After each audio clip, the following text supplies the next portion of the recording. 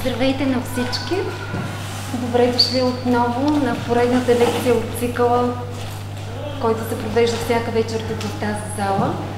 Днес вечерта е специална с една много хубава тема и имаме частта тук да е цяло семейство водещи лекцията. Единият ще говори, а другите ще бъдат живи представители на това, което ще бъде изложено като теоретична част и въобще като словесно изложение.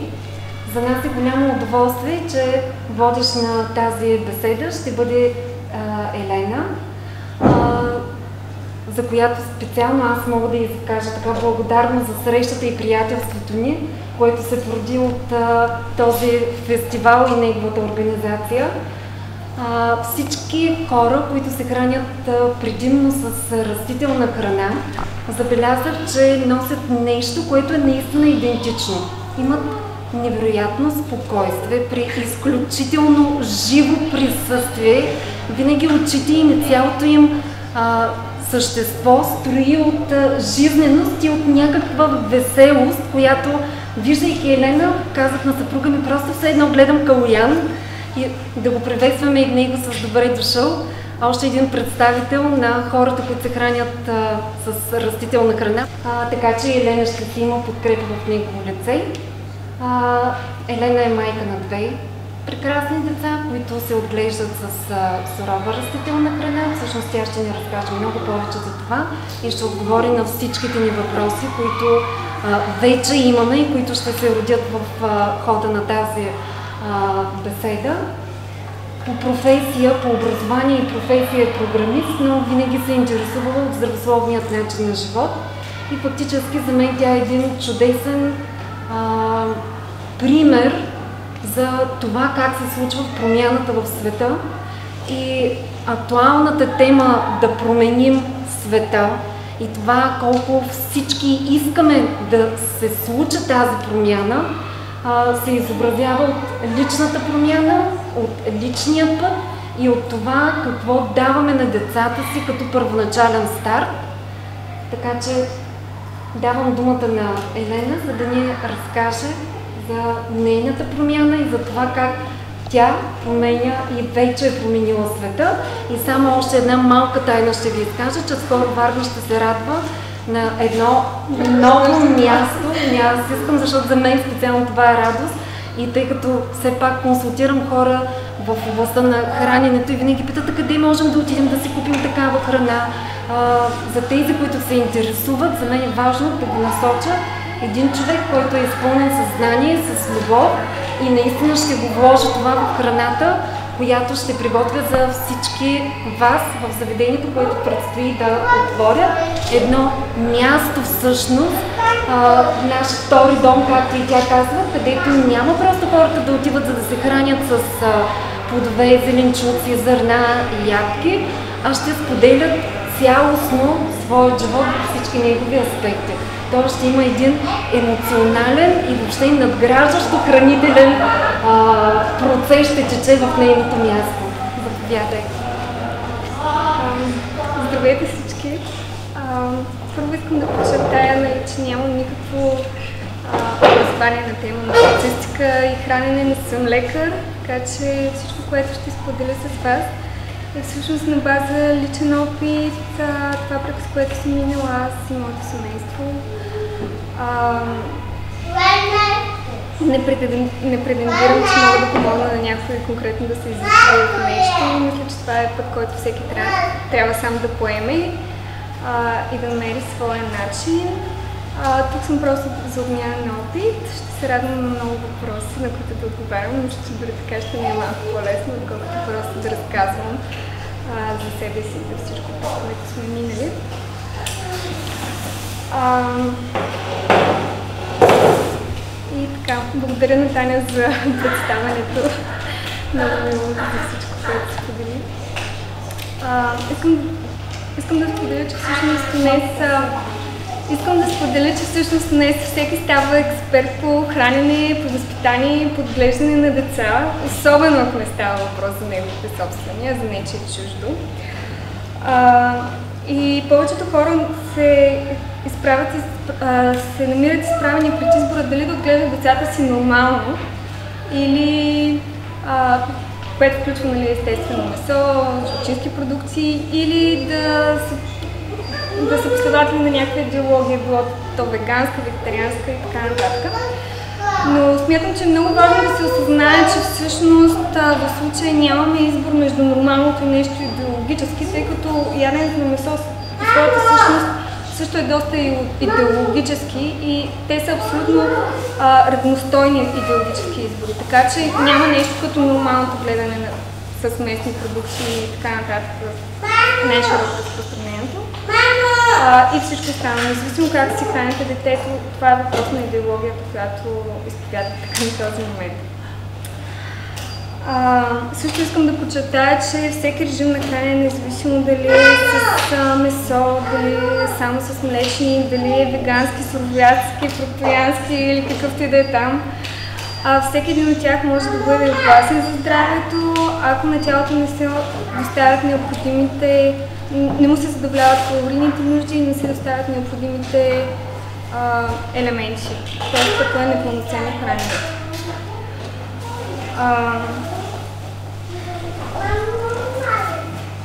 За съжаление, живеем в общество, което много обича да се намира изкупителна жертва а, и също много често а, гледа, много често гледа като на враг на хора, които са избрали да следват а, и най-вече да отглеждат децата си по някакъв начин, който не съвпада с неговите с неговия светоглед, с неговите разбирания за живота.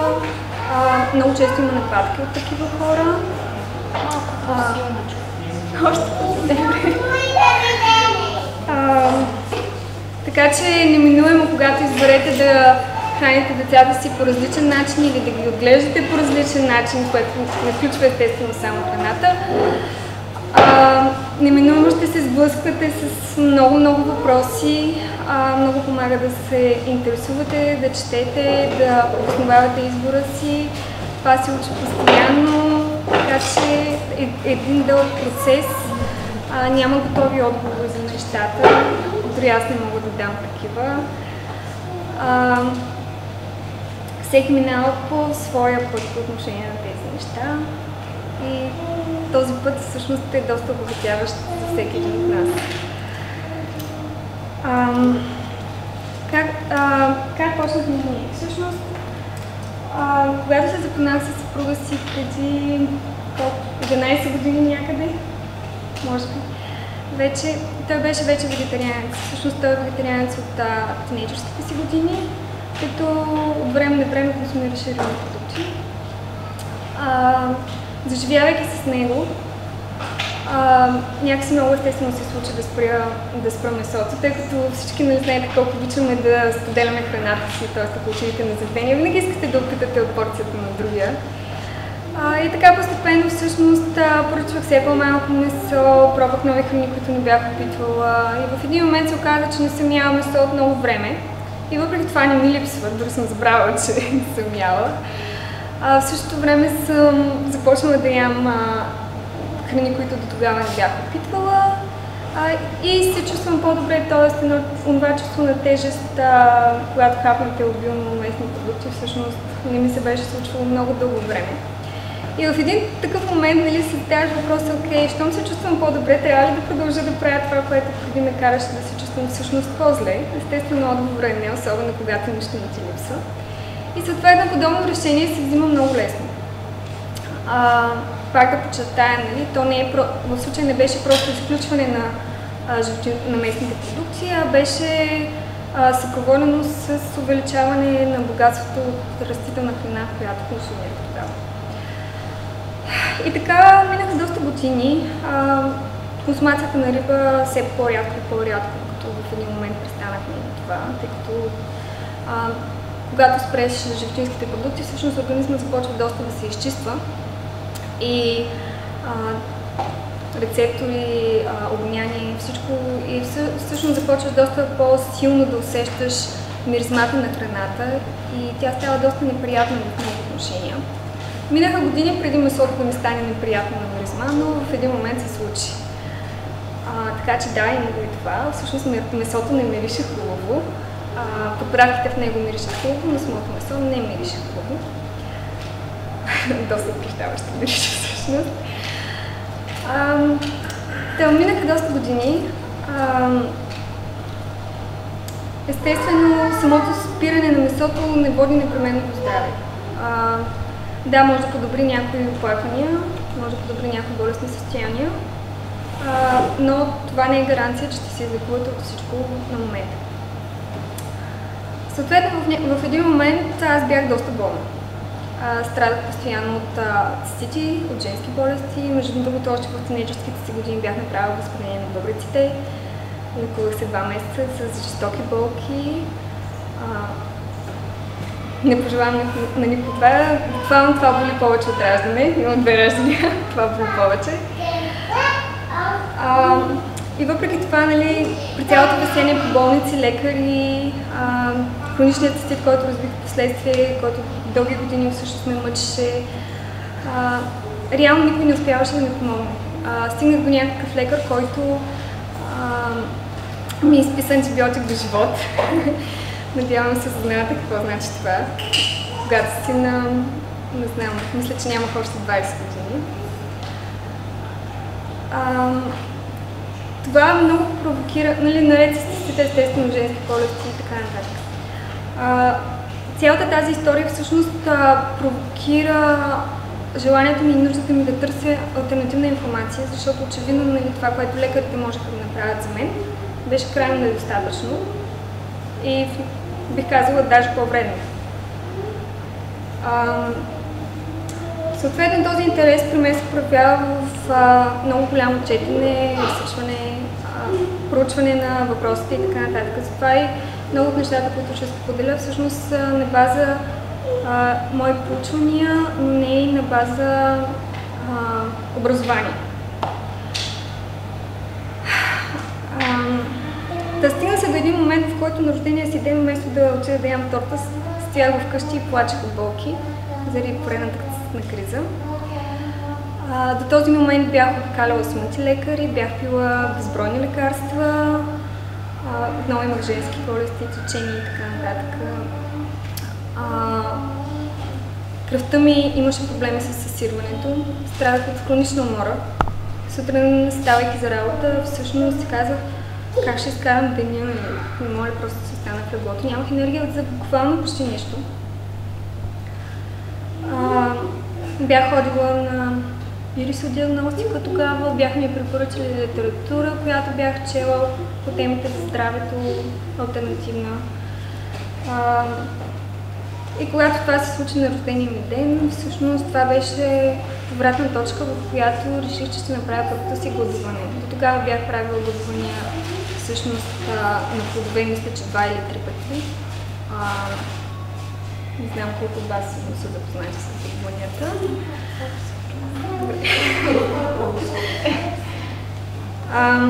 Та тогава направих първото си двуседмично гладуване само на вода. Не се умира. Естествено, ако не си твърде заплачен от някой случай. Но предвид, нали, предполагам, че а, плодовите режими преди това, някакси, нали, неяденето на месо, оцелях след две седмици само на вода. А, беше тежко. А, имаше периоди, в които имах и в които нямах енергия. През по-голямата част от времето отделях много токсини през кожата и смъдеше ужасно. А, в резултат на гладуването, естествено свалих килограми, които после, в последствие, нали, следващите един-два месеца, наваксах почти напълно. Всъщност не качих повече, колкото бях свалила, даже малко по-малко. Но това естествено не беше идеята. Това, което обаче се случи след това гладуване и последвалото захранване, всъщност беше, че за първи път през живота си аз разбрах какво е тялото ти да е чисто. Тялото ти да има безкрайна енергия, да се събуждаш сутрин така, сякаш, а, а, сякаш си се разтяга поне един час преди това. Абсолютно никаква скованост. Какво е погледът ти да е бистър, стъклен? Какво е кожата ти да е безкрайно мека? какво е съзнанието ти да е ясно, какво е сутрин като станеш и кажеш, айде няма ли да ставаш всъщност да правим нещо, стига си се излежава в леглото. Мъжа ми през това време всъщност много се притесняваше за мен, докато гладувах и постоянно казваше как трябва да спра това гладуване, но всъщност виждайки резултатите, които се проявиха след края на гладуването, той самия направи гладуване. Мисля, че десетина дена тогава, ако не се лъжа. И така, и в него момент а, все още консумирахме млечни. Върнах се към стандартното си хранене. Всъщност, отне поне няколко месеца преди този ефект на, тази, на този прилив на енергия, на тази яснота, на, на, всички, на всички положителни ефекти всъщност, отнеха, отне доста месеци всъщност, за да се потушат храната. И в него момент бяхме решили, че сме открили разковничето. А, просто регулярно почистване, нали? Ще се храним с букуци, после ще гладуваме, ще чувстваме добре, след което пак ще се храним с букуци. Което от днес, нали, поглеждайки от сега е доста смешен вариант да гледаме на здравето си. Но тогава, тогава изглеждаше наистина като... А, не знам, като все едно сте открили как да живеете живота си по най-добрия начин. А, може би година по-късно забременях, дъщеря ми се роди. А, дъщеря ми се роди, докато бях бременна, всъщност бях на вегетарианско хранене. Далеч не мога да, нали, от днешна гледна точка, далеч не мога да кажа, че беше най-здравословното. Но да кажем, пиех си мучета, а, може би малко прекалявах с млечните. А, раждайки се, имахме проблеми с кърменето с нея. А, тя имаше къстелитичка, други проблеми, така че реално от не 3 месеца, докато се нормализират нещата с кърмата, имаше голяма борба по темата. Почти станах експерт по кърмане покрай всичките премеждия. А, съответно, след третия месец тя беше само, само на кърма. Тоест успях да възстановя количества, за да може тя да се храни само на кърма и да махне адаптираното мляко. До тогава тя беше на смесено хранене. като стана на 6 месеца, почнах да я захранвам. захранването се случи с плодове. Всъщност първото нещо, което тя опита, беше праскова на плажа а, в целия вид. А, по време, както нейното, така и неговото захранване на сина ми, а, и двамата са захранвани само единствено с цели храни. Никой от тях не е ял пюрета, никой от тях не е ял плодове нарязани на хапчици и подобни неща. Всъщност, те и двамата са захранвани по начина, просто им се дава а, просто им се дава едно парче плод, резен, по-голям резен ябълка, достатъчно голям, за да могат да го хванат стабилно, а не да го лапнат целия и оттам нататък се оправят сами. Дъщеря ми на 6 месеца нямаше още зъби, първото изъбче изникна на, на 7 месеца. Трябва да отбележа, че дори само с венци тя беше способна да яде ябълка. Тоест тя се ядосваше на малки парченци с венците и си ги хапваше. А, малкият на 5 месеца изникна първото зъбче, съответно на него беше още по-лесно. Така както стана въпрос, не съм привърженик на пюретата. Всъщност, преди да почна да я захранвам, изчетах страшно много литература на тема как трябва да се захранват децата. Естествено има безбройни таблици, които ви казват това го давайте еди кога си, в другите таблици това, точно това не го давайте, не го давайте по-късно и обратното. Тоест няма нали, едина система, в която, в която да е правилна. А, и колкото повече четях нали, гледайки децата си доста альтернативно, всъщност това не споменах, че а, те са гледани с естествена бебешка хигиена, почти не са носили памперси. Гордо памперсите бяха инцидентно купувани някъде. Извинявай. нали, захранването им беше доста альтернативно, ползвах снигове, нали, привързано родителство, не знам повечето от вас дали се чува и за това.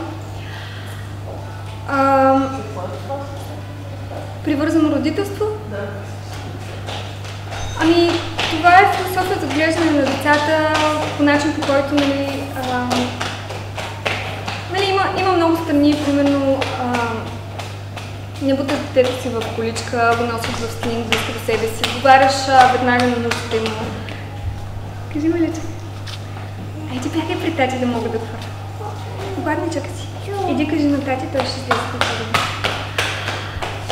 отговаряш веднага на нуждите му, такива неща, като да го оставиш да плаче половин час в леглото, за да свикне да заспива само, просто не съществуват. Да. Така че в общи линии си насреща а, за детето си. Всъщност а, в, в този период, в който то, е, то най-много се нуждае от тебе. Всъщност първата една-две годинки. Всъщност основната ти работа е да се насреща. Работата ти не е да го свикнеш да спи само в легло и да му бутнеш беберона, за да не плаче. Съответно, кърмене на поискване, нали, всичките тези неща, мога да споделя допълнително после, ако искате, тези въпроси. А, съответно и за храненето, нали, а, цялото хранене се случваше а, от тях. Тоест, ако искат да ядат, трябва да го направят сами. Няма такова нещо, като аз да седя и половин час да им тикам нещо, някакво пюре в устата. А, бяха хранени, бя, нали, бяха кърмени на поискване, съответно набавяха си достатъчно хранителни вещества от кърмата. А, в първата нали, до края на първата година, даже година и половина, не и по-късно, нали, в зависимост от кърменето, а, кърмата доставя всичко необходимо на детския организъм. Тоест, запознаването с храна, останалата твърда храна, която се дава на децата, всъщност тя е повече за запознаване с структура, с вкус, а, с а, свикване, това да преглъщат, да дъвчат. Когато давате пюрета на децата си, когато ги свикнете всъщност с пюрета от самото начало, това, което правите е да научите децата си просто да гълтат. Децата така не се учат да дъвчат. След което се опитвате да им дадете пюрета с по-големи частици, те естествено почват да се задават, защото това е нещо ново. Това е единия проблем. в 6-месечна възраст при повечето деца все още е доста активен инстинкт на избутване на храната. Тоест, по-малките бебенца всъщност имат много силен инстинкт, когато нещо попадне, някакво чуждо тяло попадне в устата и не са готови да го преглътнат. Нали, той е живото спасяващ инстинкт, всъщност те изплюват, избутват с език това, което попадне в устата им. Съответно, давайки му директно твърда храна, дали ще чеше венците или ще я яде, а, то ще я преглътне само ако се чувства комфортно да я преглътне. Естествено, необходимо е все пак да следите да не се задави. Аз лично не съм имала проблеми с задаване. Мисля, че малкото само веднъж се беше задавила леко, но успя сама да се оправи преди да стигна до нея да й помагам. И това е единственото задаване, което съм имала като задаване в тях двамата нали, през цялото време. Тоест, те от самото начало се научиха да дъвчат храната и да я преглъщат без задаване. А, доколкото знам от приятелки, всъщност проблема с задаването може да бъде много по-сериозен нали, с пюрета.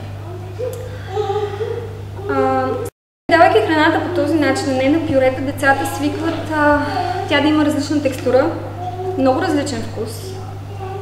А, всичко знаете, нали? Смисъл една ябълка изглежда по един начин, а, един банан по друг, а, да кажем дори готвената храна, защото тогава консумираха готвена а, в по-голяма степен. Съответно, примерно, когато исках да дам леща, просто изслагах нали, една лъжичка, нали, естествено в самото начало, една лъжичка леща, при което тя обожаваше просто зранце по зранце да ги лапа. Друг плюс, нали, развивате финна моторика така. Няма нужда да ги храните. Освен това, другото предимство, нали, децата се научават а, да се хранят сами и всъщност вие можете да се нахраните докато те ядат. Тоест няма го филма, в който сядате да храните детето и после се опитвате да се измъкнете от него, за да седнете и ви да хапнете нещо набързо, защото ви ви се за крака и искате да се занимавате с него. Освен това, по този начин може да ги сложите на масата наравно с вас. Съответно, те наблюдават а, как се храните вие. И така се стигна до един много интересен момент, в който Дъщеря ми както се хранише с ръце. Малко след като майка ми беше питала, няма ли добре да я учиш да яде с и аз бях казала не. Всъщност малко след това се случи, че един ден дъщеря ми стои а, на столчето, супер гладна, с храна при нея, реве и се протяга към кухнята. Тя в него момент беше решила, че иска лъжица. Абсолютно нито един ден преди това не беше ползвала лъжица. Съответно, отне малко време да разбера какво иска нали, от кухнята и защо сочно там. А, когато й дадах лъжица, тя хвана лъжицата, не знам, може би да е била на 9 месеца, 10, не си спомням, честно казвам не си спомням. А, значи най-изненадващо беше, че тя хвана лъжицата не както децата хващат така грабват лъжицата, тя е хвана като възрастен човек. И всъщност това беше единственият начин, по който тя беше виждала да се държи лъжица. Тоест докато ние се храним вкъщи. Така че е изключително важно децата да ви наблюдават. Личният пример, ще подчертая, много е важен. Не можете да накарате детето си да се храни добре, а в същото време вие да се храните с бокуци. Не може да му кажете, а, ти няма да ядеш това, а ще ядеш примерно зелена салата, а пък вие да се нагъвате там пържени картофки. Няма как да стане. И просто не става. Не работят така нещата. Децата се учат от нас и се учат не защото им казваме нещо, а защото го правим по определен начин. И това е изключително важно да се осъзнаем. Тоест, ако искате децата ви да имат здравословни навици, да се хранят здравословно, изключително важно е вие да сте примера за това. Ако искате децата ви да спортуват, вие трябва да спортувате. Ако искате децата ви да ходят сред природата, вие трябва да ходите сред природата. Ако искате децата ви да не ядат джунфуд, вие трябва да не ядете джунфуд. Или поне не в тяхно присъствие, нали, в редките случаи, когато се случва. Добре, Лижа. Добре. Говоря за храна, нали? Да, те не справят в клюса на апетит. А, да, докъде бях стигнала? Да, примера на родителите, храненето. А, и така, стигна се, не знам, може би на 9-10 месеца започна да вкарвам млечните продукти в менюто на дъщеря ми. Трябва да подчертая, че тя абсолютно, да, тя е захранена с млечни продукти, с, с яйца, но в изключително, изключително малки количества. Тоест, примерно, не знам дали през живота си консумирала половин или една копичка кисело мляко и не знам дали е изяла четвърт яйце общо. Тоест, това беше само началният етап на захранването. Доста скоро след него, всъщност, взехме решение вкъщи да спрем млечните и животинските продукти напълно. Съответно, спрях захранването с такива. Защо взехме това решение? А, в него момент консумирахме най-вече нали, млечните продукти, яйцата, от а, биомагазини и от фермерски парцели и от хранителни кооперативи. И по мои наблюдения, а, храната в хранителните кооперативи, която е основно а, домашна, нали, в по-голямата си степен, е доста, доста силна на вкус. Сиренето има много силен вкус. Когато консумирате нали, в а, продължение на месеци, всъщност може да откриете дори разлика в вкуса нали, на база това какви треви е яло животното. Тоест тя е много концентрирана, много силно вкусова. А, толкова силно, че а, е леко противна. Особено когато се натрупва. Така че тази храна на мен лично беше почнала да ми става доста противна. От друга страна, а, продуктите, които са по биомагазините, млека, сирена, моля те много мърси. Благодаря, Миличка. От друга страна, а, продуктите, които са по биомагазините, като млека, сирена, кашкавали, те са доста неутрални на вкус. Сравнила с стандартната търговска мрежа. И въпросът беше, добре, нали са био, всъщност защо не мязат на тези домашните и силните, нали, какво точно липсва в тях. И това беше едната страна на въпроса. Другата страна на въпроса беше, че покрай всичките ми търсения, четения и така нататък, неминуемо попадат на толкова много информация, защо млякото е вредно, защо не трябва да консумираме мляко. Обаче, го има един момент, че всички сме толкова пристрастени към млякото. И както като, като към всяко едно пристрастяване, всъщност си намираме извинения. Много сме добри в намирането на извинения и да си затваряме очите. А, и съответно продължахме да едем млечно. Но когато се стигна до този момент, в който всъщност поглеждам на биопродуктите, които а, не са това, което трябва да са, като на домашните продукти, които всъщност са твърде силни и не ми харесват, плюс знам колко е, а, колко е вредно млякото за човешка организъм. Нали, в един момент въпросът е добре, защо да консумирам мляко повече. Отговорът е, защото е престрастящо. Но въпреки това, решихме да а, спрем консумацията на мляко. Когато предложих, на мъжа ми, много добре си спомням реакцията му тогава, той просто ми се е смя. Буквално ми се е смя и реши, че това е само един експеримент, който в рамките на седмица ще дойде края му. За щастие. За щастие не се оказа така. Така всъщност доста бързо а, доста бързо отвикнахме от млечните. А, естествено в него момент нали, имах възможността отново да добавя още храни в менюто ни, които не сме консумирали а, ежедневно, нали, ежедневно. Съответно менюто, спирайки едното, всъщност се разнообрази допълнително. И по този начин а, не беше точно, нали, че се отказваме от нещо, почва нещо да ни липсва и всичко останало се остава същото, а всъщност а, то стана по-богато отново. А, между другото, всяка една, такава смяна, всяка една такава смяна на кухнята си е доста проблемка. Замислете си само колко нови рецепти трябва да получите, защото, да кажем, поне половината от тези, които сте използвали, а, спират да ви вършат работа. По отношение на млякото, не знам доколко от вас са вегани, доколко от вас са вегетарианци, кой как се храни, но искам да споделя, че кърмейки две деца, имам наблюдение как децата реагират на млякото. Млякото ги опоят, те са почти като другирани, примижват, примижват, успокояват се, заспиват. А, това всъщност се дължи на вещества в млякото, които привързват детето към майката. Те са много близки до наркотичните вещества. Това е един много мек и деликатен начин на природата всъщност да накара бебето да суче, да поема правилната за него храна, да се успокоява, да превързва и майката и бебето един към друг. Проблема с млечните продукти е, че всъщност те съдържат, ако не същите, то поне подобни на тези вещества и ни влияят по същия начин. А, съответно, неща като сирена, кашкавали, те пък са крайно концентрирани. И затова на повечето хора всъщност им е безкрайно трудно дори да си помислят, че могат да спрат кашкавала или сирене. Те не могат да си представят шопка салата да ядат без сирене. Или пък пица без кашкавал. То не е пица. А, това, което обаче се случва, когато откажете млечните, е, че минава един период, в който тялото се изчиства този, нали, от а, натрупванията. Този период може да бъде по-дълъг, по-кратък, но в общи линии се случва сравнително бързо. Дори без да правите допълнителни почиствания. И всъщност изведнъж откривате, че се чувствате много по-добре. Което между другото може дори да не го забележите. Всъщност точният момент, в който се забелязва колко по-добре се чувствате, е момента, в който, да кажем, известно време не сте яли дадена храна и да кажем сте някъде излезли или нещо друго и решавате, добре, този път ще направя някакъв компромис и ще хапна, да кажем, пица.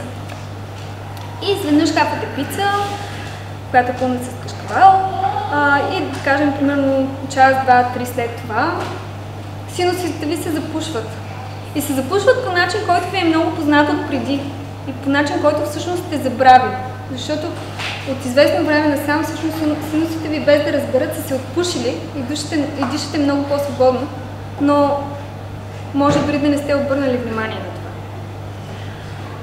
Друг ефект, който се случи, когато правихме млечните, беше, че мъжа ми, който страдаше от хронична ушна инфекция, между другото предполагам, че това ще помогне и на много деца, значи той страдаше от тежка хронична инфекция. Ако зимата излезе без шапка, дори само за да учили до кофата за да изхвърли веднага почваха болки в ушите. А, слагала съм очесън и всякакви варианти, нали? Това облегчава, облегчава нещата, но не ликува проблема. А, и това, което се случи, беше, че всъщност след като спряхме млечните продукти, това изчезна. Абсолютно изчезна. Това беше единствената промяна и напълно изчезна. Впоследствие той можеше да ходи цял ден навънка през зимата, без шапка. Шапката преди това беше просто задължителна. Шапка, по цял ден, абсолютно никакъв помен от болки в ушите. Така че, ако има майки, чието деца страдат от ушни инфекции, мисля, че е добре да помислят за възможността млечните продукти да са причината за това. Поне в нашия случай на мъжа ми това му помогна изключително.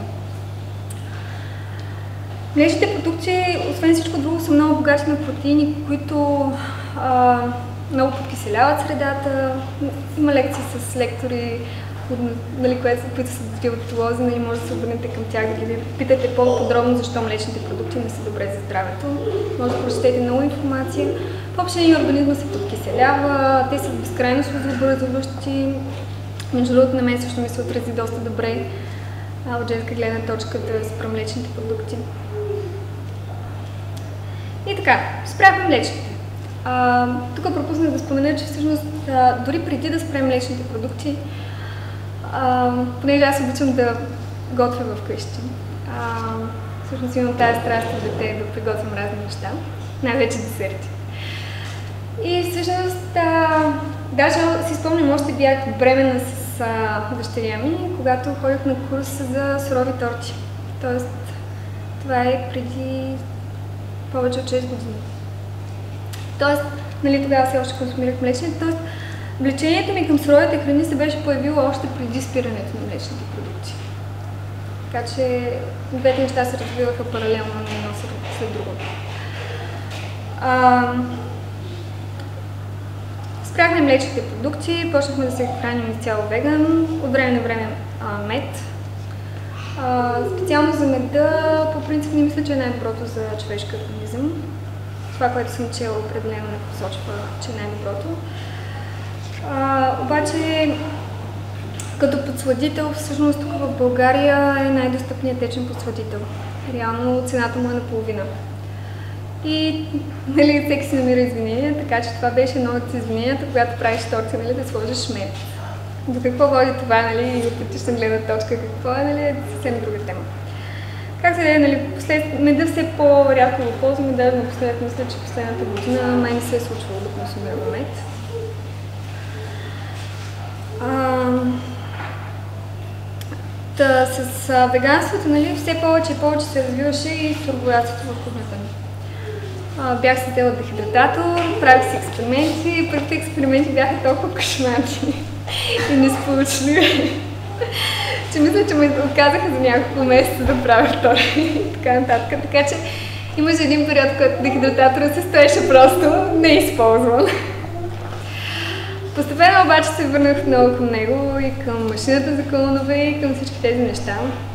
Дъщеря ми като растеше, съответно имаше кълнове, тя, които стояха на земята в една машинка за покълване. Не електрическа, ми от тези, които просто поливат отгоре. И има, тя има една много сладка снимка, в която е седнала до а, купичките с кълнове и просто яде директно от тях. Те бяха на достъпно, на достъпно място за нея на земята. Тя просто си пролазваше и си хапваше, когато си поиска. Съответно, нали, това го имаше и в чинията й, а, когато ядеше, когато се направила. Нали, направих всеки път. И така, нали, с развитието на вегетарианството, развитието на суровятството все повече и повече се четне. Втора бременност, която беше цяло веганска. Тоест, спокойно може да сте бремени и да сте вегани. Няма проблем с това, ако някой си го мисли. В много голяма степен беше суровоядска, не изцяло, но да кажем висок процент. А, Съответно, какво се случи по време на тая бременност? Качих доста малко килограми, основно на корем. Родих доста лесно, макар и бебето да не беше разположено в оптимална позиция. Възстанових се още по-лесно.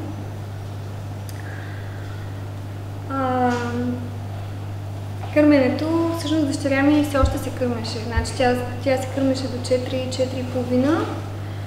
А малкия някъде към 2-2,5 се отказва от кърменето. Значи двамата са кърмени продължително време. И двамата се отказаха сами, т.е. ако някой ме пита как се отбива дете, нямам представа. Те сами си се отбиват, когато му дойде времето. А, съответно кърмих по време на бременността, кърмих ги двамата а, заедно, когато, след раждането, всъщност заедно, заедно. А, да кажем, примерно в повечето случаи гледах да накърмя малкия и всъщност каквото остане за малките след това, за да съм сигурна, че бебето получава достатъчно. А, дъщеря ми качваше по около 400 грама първите месеци, естествено там имаше и проблеми, но в общи тя вървеше дребна и качваше по-малко. Роди се и по-маничка. А, сина ми първите, първия месец качи 2 кг. При все, че кърмих него, кърмих сестра му и той повръщаше толкова, колкото тя а, ядеше на време. Тоест, той беше от тези щастливо повръщащите, дето след като се нахранят, връщат много огромно количество, което обаче по никакъв начин не изглежда да ги притеснява. Притеснява само майката, която ходи миришето на кисело мляко постоянно и мокра. И съответно си качва килограмите без проблем. Тоест на веганска диета можете да кърмите. Няма проблем. Им, има мляко в изобилие. Така, така че за този, който се притеснява нали, в кои фази на живота си човек може и не може да се храни по определен начин, а, определено това е подходяща храна. Даже, може би, дори заради нея са били такива количества, не знам. Може би заради опит, който. А, и всичко, което бях преминала преди това, но в общи линии няма проблем с кърмата, няма нужда да ядете млечни, за да имате кърма и всякакви други такива глупости, които можете да чуете. И, и кърмата е достатъчно хранителна. Дори да сте само на растителна храна. А, захранването на малкия. Значи в него момент а, вече бяхме в много, много голям процент. В него момент бяхме вече в много, много голям процент а, сурова храна. И всъщност а, ще ви излъжа, не си спомням се точност, но може би до година и половина някъде, ако не и повече, той не беше консумирал никаква термично обработена храна. Тоест, при него е, около една година захранване мина само с сурови продукти. Естествено, това беше малко двигател за нас, нали, да се храним по-добре, стремейки се да му даваме всичко това. А, след което се премест... малко след това се преместихме обратно във Варна. До него момент живеехме в София. Значи двамата сме варненци. Нали, естествено, премествайки се тук от София, години наред в София, съответно цялата кухня беше с кашони, с цялата ни покъщнина. Трябваше камиончета да се изнесем. Имаше един период, в който трябва да призная, се хранихме доста зле. Под доста зле визира основно храна, поръчана отвънка, по простата причина, че нямах нож, нямах тенджера, нали, кухнята беше затрупана с кашони, буквално почти нямаше как да приготвя храна вкъщи, така че доста често поръчвахме храна. В него момент той започна и да консумира някакви готвени неща. Нали. А, припомнихме си отново защо не ядем млечни продукти след няколко опита да ядем такива. Но да кажем, това беше един кратък момент, който всъщност сравнително бързо мина. И така. А, в един момент, а, интересувайки се все повече и повече от суровото, а, идеята за хранене на сур... нали, предимно с сурова храна все повече назряваше. И се превръщаше в... А, не искам да казвам цел, защото суровяството не може да бъде цел. Ами по-скоро в желание наистина по този начин да доставим максимално а, максималното за организма си и да се чувстваме по максимално добрия начин. Съответно имаше едно лято, в което то не беше само лятото, всъщност беше и есента, почти края на зимата, през което аз а, минаха доста месеци, в които не бях консумирала абсолютно никакви а, термично обработени храни. А, това беше нещо като опит, нали, да видим, окей, може да се издържи, какво се случва, има ли някакви липси. И сега вече ми се отразяваше много добре. Имах безкрайно много енергия, почти като след, след гладуването, което бях правила години преди това. А, чувствах се много добре и тук там имам проблем, когато нали, лично за себе си по наблюдение за тялото ми, трябва да споделя, че примерно когато имам някакви недостици, забелязвам, че кожата ми става суха и пръхкава, не знам, като, като леко надрана, нали, такова беличко по кожата, нали, признак на сухота на кожата. Това го забелязах по време на бременността и, и нали, докато консумирах готвена храна и съответно забелязах, че ми минава, когато пия зелени смучета, т.е. явно с зелените смучета тогава а, успявах по някакъв начин да задоволя някакви липси. Съответно, бидейки само на сурова, нямах нужда от такива неща. Искам да подчертая, че не ме разбирайте погрешно, суровата храна не означава да ядете смучета. Когато не е за смучета, не е за сокове, не е за много тежки гурме рецепти, сложни за приготвяне и така нататък. Под суровиятство аз разбирам това да се храните с храната по начина, по който природата ни е дала в целия вид. А, в най-добрия случай да не комбинирате много продукти едновременно, т.е. това да комбинирате повече от 4-5 продукта за едно хранене е прекалено много. В най-добрия случай е мономил. Обаче и аз не съм светец, съответно не се храня нали, абсолютно винаги по този начин. А, но когато мога го правя и естествено виждам колко по-добре, по-добре се чувствам по този начин. А, за децата, храненето на децата всъщност е много обословено от това как ние се храним. Тоест, когато ние се храним добре и те съответно с нас се хранят добре. Когато по някаква причина сме, смисъл дори да сме в периода, в който едем само сурово, по простата причина, че примерно сега лятото има такова огромно изобилие от плодове и зеленчуци, че не знам, просто е престъпление да не се храните основно с тях. А вместо това да си купувате риба, да готвите някакви бариба, цялата къща да се смадява на рис или нещо такова. А, тъл, нали, пролет, а, лятото всъщност е благодатния период да започнете да консумирате цели растителни храни. Бих казала, че е важно да гледате как да, когато ги комбинирате, е добре да гледате кое с кое може да се комбинира, а, кисели, полукисели и така нататък. Мога да спуснем после, ако някой се интересува за това специално. А, но, какво се случва? Тъй като ние водим доста динамичен живот, аз, аз си гледам децата вкъщи. А, реших да напусна работа и да остана да си отглеждам децата, защото преценихме, че това е по-важно от а, а, това да ги дам на детска градина. Съответно, мъжа ми в продължение на години работеше от офис, нали? Всъщност, транзицията от работа в къщи при него до... А, от, транзицията от работа в офис при него до работа в къщи а, от него години. Към момента той работи от вкъщи. Така че в обща линия имаме възможността да си гледаме децата и двамата. А, това е естествено с твоите плюсове и минуси, а, но бих казала повече плюсове. бидейки обаче къщи гъвкави с времето, съответно в живота ние няма тази структура, която има повечето хора. Сутрин отиват на работа, връщат се и така нататък. Съответно, примерно можеш да решим, пътуваме някъде или деня ни да е напълно разпределен, кога излизаме, кога се връщаме, нали, според ангажиментите. Тоест няма е тая ритмичност, тая програмка, която между другото, нали, ако се замислите, всъщност е доста странно живота ни да е до такава степен програмиран и разчетен. Но това е тема на друг разговор. И съответно с такава, с такава а, гъвкава програма не винаги е лесно да осигуряваш сурова храна. Също така, храната, нали, суровите плодове и зеленчуци, които се продават, а, не винаги, даже в по-голямата си част, са доста некачествени и доста незрели.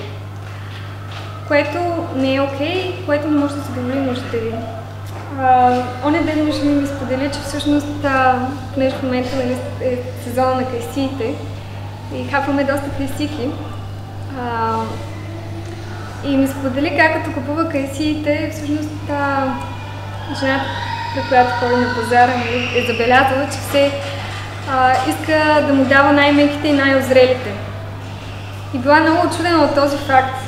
Казва, другите хора не ги искат, искат само твърди. Което е изключително абсурдно и всъщност трябва да се замислите до каква помивка сме стигнали, за да мислим, че а, трябва да купуваме сурови, твърди и неозрели плодове. Да не говорим, че повечето хора ги купуват, почти не ядат от тях и ги консервират да взимат. Тоест те използват лятото, за да си купят неозрели плодове, да ги сварят, да им сложат захар и да ги затворят в буркани. и през това време се хранят с някакви други храни, богати на а, не знам, някакви варива с страшно много олио и вътре и така нататък. Нали? Изключително а, странна и абсурдна ситуация, но факт в крайна сметка. Така че едно от важните неща, когато се храните с такава храна, всъщност е наистина да подбирате храната си. Да се стремите тя да е максимално зряла, максимално сладка. Имайте предвид, че когато консумирате сурови продукти, те в а, много голяма степен са с водно съдържание. Тоест от... А, тоест, примерно... Какъв пример да ви дам? примерно половин килограм череши може да ви се сети по същия начин, както половин килограм сварено лисно. Това няма как да се случи. По-голямата част това е вода. Съответно, Дяри, искаш се? Съответно, миличко. Съответно, а, храняйки се тази диета, така да я наречем, въпреки че не е точно диета, по-скоро стил на живот, а, предполага вие да се храните до насищане, да се храните в изобилие. Значи тук нямаме броим калориите и сега вече съм ял твърде много и трябва да спра, защото ако продължа да ям ще кача килограми. А, така че на това хранене в общи линии ядете докато се чувствате удовлетворени. Това обаче въжи основно когато се храните предимно с плодове. Ние тук закачаме малко темата за, за плодоядството или фрукторианството. Има различни типове суровоядство, а, има защитници на всеки, както на всяка една друго хранене. Какво се съдържа в суровите храни? Значи плодовете те съдържат много въглехидрати, които са ни нужни като енергия. Тоест, а, се сурово, а, вие трябва да успеете да си набавите достатъчно калории, нали, въпреки че калориите, да, друга тема. А, тъм, в общи трябва да се набавите достатъчно калории, за да задоволите енергийните нужди на тялото си. И това няма да стане като изядете два банана и една ябълка. Това не е достатъчно. Ще сте гладни, ще обладнеете след това. Благодаря. Ще обладнеете много бързо след това, ще губите килограми и много скоро ще почнете да се чувствате слаби и изтощени и ще кажете, о, то суровятството не е за мен. Нали, не, не се чувствам добре, не ми пасва на структурата или на не знам си какво. Или на структура.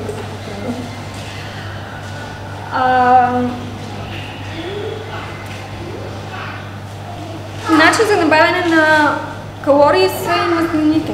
Мазнините, примерно в ярките. Тук изключвам олиото. Нали, мазнини в естествени продукти. Авокадо, да кажем, то нали, не е най-местната храна, но да кажем всякакви видове ядки. Проблема с а, това обаче е, че те са с много високо количество на мазнините. Хубаво е да консумирате мазните продукти в някакво малко по-ограничено количество. Няма нищо нормално в това да изяждате по две чаши ядки на ден. Още повече, че това ще ви кара да се чувствате а, доста тежки, няма да имате толкова много енергия. А, освен това, мазнината, по принцип, нали, може би това трябва да го обясни по-добре лекар, но аз с моето разбиране на база проучвания, всъщност мазнината, трупайки се в тялото, в кръвта, пречи на освояването на въглехидратите. Много болести, всъщност най-тежките болести в обществото ни, са свързани най-вече с а, прекалената консумация на мазнина, прекалената консумация на протеини.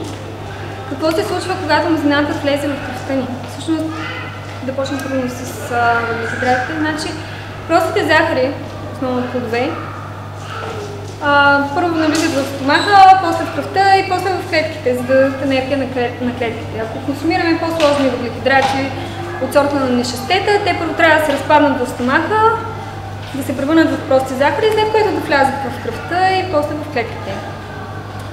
Обаче, когато влязат в кръвта, в кръвта има а, много мазнини. Какво се случва? Мазнината всъщност блокира инсулина.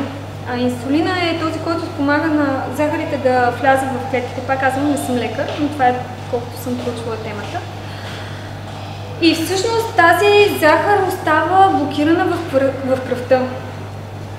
Нали, тук е въпросът, че мазнините се натрупват и по кръвносните съдове, съответно сърдечни заболявания и така нататък, но едно от много често срещаните заболявания, за които се обвинява захарта и въглехидратите, диабета, всъщност, доколкото аз съм проучвала темата, се дължи най-вече на мазнините, не на захарта.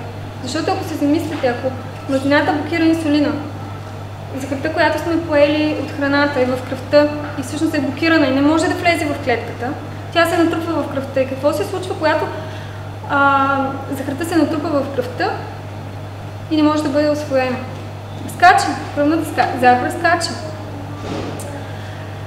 А, съответно, развива се диабет тип 2, мисля, че беше. А, друго какво се случва? А, кандида. А, колко от вас са чували, че примерно когато имате кандида, трябва да спрете да консумирате сладки неща, включително плодове? Колко от вас? Супер, нали? Аз съм го чувала безброй пъти и съм го опитала даже. А, всъщност какво е кандидата? Кандидата, както повечето бактерии и микроорганизми са, в тялото ни са всъщност нещо, което ни спасява. Те са животоспасяващ механизъм. Ако имате твърде много захар в кръвта, кандидата е гъбичка, която консумира тази захар. И тя помага за нейното намаляване.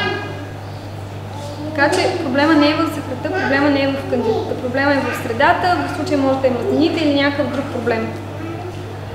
А, тук да споделя, че по време на бременността си с... А, мисля, че с а, сина ми, а, малко преди раждането, всъщност имах гъбички. Това често се среща при бремени последния месец да развият гъбична инфекция. А, съответно потърсих а, помощ альтернативно, нали, тъй като вече до тогава а, имах доста контакти, знания, познати. И това, което ми беше дадено нали, като предложение, нали, естествено, отидете на лекар, ще ви изпишат, а, ще ви изпишат някакви лекарства, глобули и така нататък.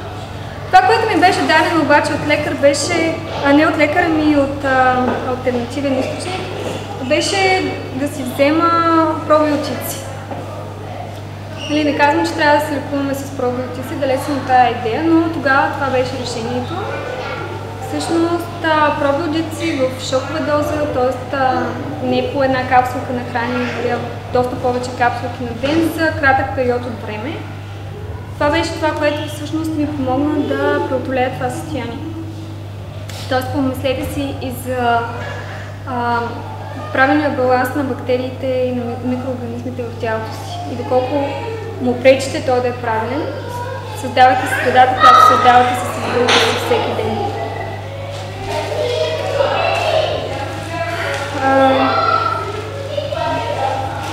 да, за захарта. Да, значи говорих за, за различните видове суровоядство. А, да, безспорно, гурме суровоядството. Нали, това е един от най-разпространените видове суровоядство. Гурме суровоядството. При него доста често се използват ядки в много големи количества. Аз също имам слабост към, това, към този тип суровоядство. Получават се изключително вкусни неща. А, доста често се мимикират готвени ястия, базирайки се само на, това, на такова. Благодаря. Горе-долу принцип е, ако е сурово, тогава е добре за мен. И което не смятам, че е правилно, но в много социални ситуации, примерно искате да излезете с приятели или просто искате да разпуснете или каквото и да е там, този вид хранене всъщност предлага, предлага доста, доста интересни вкусове и интензивност, които определено се струва да бъдат опитани, ако желаят, естествено. Съответно могат да бъдат заменени всякакви неща от сорта на сирена, млека, а, яйца, дори въобще всичко, което се сещате в менюта си, като всеядни, може да бъде заменено с ако не е всичко, то почти всичко може да бъде заменено с сурови альтернативи. А, но пак подчертавам, това не е за всеки ден храна. Това е по-скоро празнична храна, колкото ежедневно. Това, което е добре да е ежедневно, за да се чувствате максимално добре, това са най-вече плодове в състояние, сладки, зрели, качествени, някакво количество зеленчуци, някакво количество зеленолистни, ако имате нужда и ви е вкусно. Друг тип суровоядство, това е основно базирано на суперхраните. Друго любимо нещо. Суперхраните. Значи живеем в доста шантов свят. Значи постоянно се говори как, как без а, Бога няма да успееш, как постоянно казваме виновни удоволствия. Сега ще се почета с една топчичка, нали така, виновно удоволствие. Ще се набухам с захар и бухулци, нали, ама е виновно удоволствие. Всъщност, ако се замислите, всички, всички здравословни дейности са а, всички здравословни дейности всъщност са удоволствие. Ако трябва да искаме нещо, просто не мога. Благодаря, Милича. Всички здравословни дейности са удоволствие. Какво е удоволствие? Удоволствие е когато, а, когато сте изморени да се поспите и да се почините. Нали така? Какво правим ние? Пием кафе, ядем шоколад. Удоволствие е когато, когато имате нужда от движение да се движите. Удоволствие е когато сте гладни да се нахраните. Удоволствие е когато сте жадни да се да пиете вода. Всичко това е удоволствие. Обаче светът е толкова объркан и шантъв, че всичко, буквално всичко сме обърнали на опки.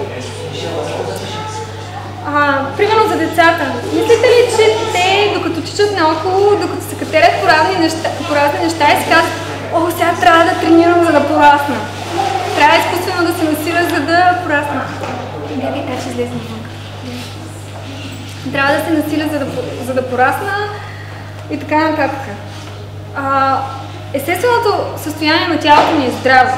Естественото състояние на тялото ни е да сме склонни към движение. Да не ни е тежко да станем от дивана, за да отидем и да дадем нещо на децата. Кога се случи това? Това се случи, когато основно минахме на сурова храна. Нали? Пак казвам, нали, повече по две зеленчуци не е толкова ядки. Въпреки, че и приятките го има, нали, да си кажа, същото се случва, но като цяло ефектът е по-силен, когато сте цяла сурова храна. А, за супер храните исках само да бързичко да кажа. А, определено те не са отговорът. В, а, нали, постоянно говорим за това как а, значи, цялата ни нутрицистика е базирана на това, еди кое си е богато на това, еди кое си е богато на това и аз еди какво си, защото е богато на това. В същото време при болестите говорим а, само за това се дължи на недостиг на това, това се дължи на недостиг на нещо друго. И какво се случва? Всъщност говорим как всичко е богато на нещо си. Имаме някакви супер храни, които са богати на не знам колко пъти повече проценти, отколкото се нуждаем на някакви вещества и в същото време страдаме от недостици. Всъщност, основният проблем в обществото ни не е недостигът. Това не е основният проблем. Основният проблем е излишка. А, консумираме храни, които а, съдържат примерно твърде много мазнини, твърде много протеини, твърде много, примерно желязо, това също е опасно. А, и защо трябва да консумираме твърде много? Защо трябва да консумираме супер храни? Замислете се. Защо, не, защо търсим да консумираме максималното, при положение, че всъщност на нас не трябва просто достатъчно? Да, не по-малко, но достатъчно. А изведнъж всички лудват по някакви носни супер храни, които имали не знам колко там, примерно 1000% повече от дневната ни нужда. So, това ли е здравословно? Не, не. Сурово? Да, може да е сурово, но не. Но това няма да ви направи здраве. Няма да, няма да култивира здраве в вас. Здравето всъщност е естественото състояние на организма. А, всяка система в природата е здрава и поддържа сама своето здраве. Същото е и с нашето тяло. Значи, искам да подчертая, суровата храна и суровястото не е някаква магическа тук диета, която ще ви излекува от всичките ви болести. И ще станете изведнъж супермени тук всичките и ще. Не, това, което се случва на сурова храна е, че всъщност а, представяйки всеки ден да се тровите ежедневно. Искаш ли седичка? Представяйки всеки ден да се тровите с... А,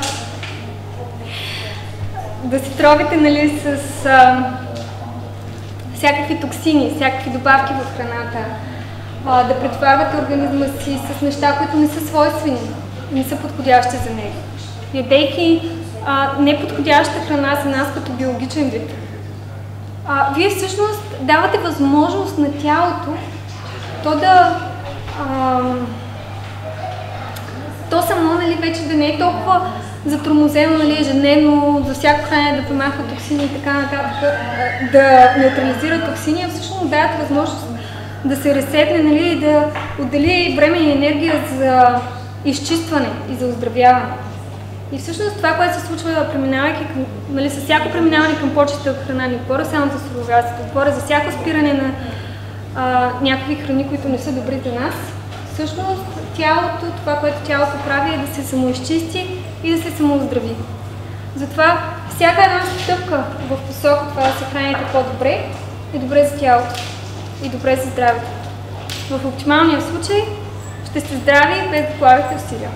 Тялото, тялото само се грижи за това, както, както когато се порежете, всъщност то само заздравява.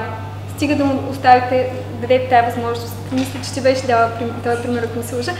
Може някой друг не знам.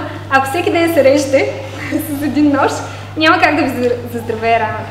Но ако случайно се порежете и оставите тялото да се самоизлекува, то ще се самоизлекува. Това, което правим с храната си в повечето случаи е като всеки ден да се режем. И после търсим някакви велики лекарства, които да не оздравят. Нещо друго, а, което на мен беше много важно в, целия този път, беше да, да осъзнаете, че всъщност здравето и това да се чувствате добре е само и единствено във вашите ръце. Значи безброй пъти съм слушала как някой му става лошо, проблема, го главата, вдига кръвно или не знам си какво, и отива пред лекаря и дай ми хапче за еди какво си или излекувай ме. Някакси сме делегирали отговорността за нашето здраве на някой друг. А, системата, дали ще наречете обществото, което живеем, дали ще наречете фармацевтичната там мафия или каквото и да е там, няма значение как ще го наречете. В общи линии всичко ни кара да делегираме а, отговорността за здравето си, отговорността за нас самите и това, което се случва с нас и с живота ни на някой друг. Никой не взима отговорност за себе си, включително и за децата си. Нали, даваме ги на детска градина, включително имаше една майка, която ми беше споделила, значи колко беше? А, значи тя беше на годинка, вече се изпишкваше нормално, а, беше си на гащички и така нататък. Съответно някакво по-голямо дете, което всичко си правеше още в памперса. Между другото, на мен ми се е случвало да чистя дупе на голямо дете нали, на акно, но не искам да си представям колко неприятна работа е. Та съответно то вършеше всичко в, в, в памперса си все още, при което ми, беше споделено, че ще го дадат на детска градина и там ще го научат да ходи до туалетна. Добре, три години какво правите с стои дете в къщи? И честно, не ви ли отвръщава това постоянно да... В смисъл, толкова ли нямате порив да намерите начин да го научите или да се поинтересувате от това? А, значи има го момента, че а, горе-долу повечето неща, които са се случили в живота ми, са се случили точно защото в сравнително ранен етап, а, сравнително млада, всъщност а, видях, че системата не може да ми помогне и започнах да задавам въпроси. И съответно да провокирам всичко, което се при, приема за даденост. Всичко, за което ми е казано, това е така, така се прави. Не, няма така. И между другото, всичко, което е така обикновено е много сбъркано. Така че замислете се какво в живота, в живота си приемате за даденост. Какво е така, защото така сте научени да вярвате. А, независимо дали ще се отнася за, а, за това какво да ядете, за това как да гледате децата си, за това а, кога да ходите или да не ходите на лекар. А, мисля, че е изключително важно всеки един а, да прави собствени проучвания за нещата, да търси собствени отговори, да, да не се доверява само на един единствен източник, особено когато е мейнстрим. Тоест, да. А, и да търси отговора за себе си. Това е изключително важно, изключително ценно и това е единствения начин да си излезете от матрицата и да почнете да живеете по начин, който наистина да ви удовлетворява. Какъв живе, живот живеят повечето хора? Ходят на работа, връщат се, на следващия ден пак и така. И защо? Защото е така. Повечето хора, значи аз съм програмист, работя в офис. Работих.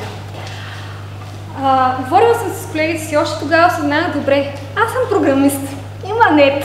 Нали? Най-абсурдното нещо е да караш програмист да би път до офиса, за да работи. Защо? Що за глупост е това? Но въпреки това има, повечето от колега, колегите ми не осъзнаваха това. Естествено имаха си техните причини, нали? естествено всеки си има причини за мнението си. Но те не допускаха, че някой, нали, но този, който вярваше в това, че трябва да работиш в офис, че това е начин и че така се прави и всъщност там имаш, нали, имат повече контрол работодателите, виждаш ли върху тебе, което не е точно така, защото повече се губи време реално. А, съответно, те бяха убедени, нали, че човек не може да е продуктивен. Камо ли пък още по-продуктивен, ако работи в къщи. А, за щастие не всички, нали? много програмисти работят от вкъщи. Това е много благодатна професия в това отношение.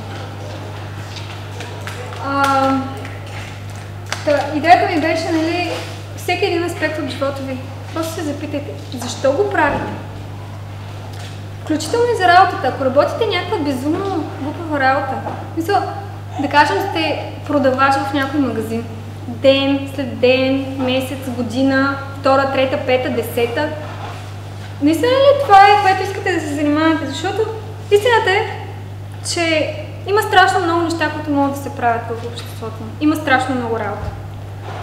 А, може да си намерите прозвище във всяко отношение, може да направите много неща.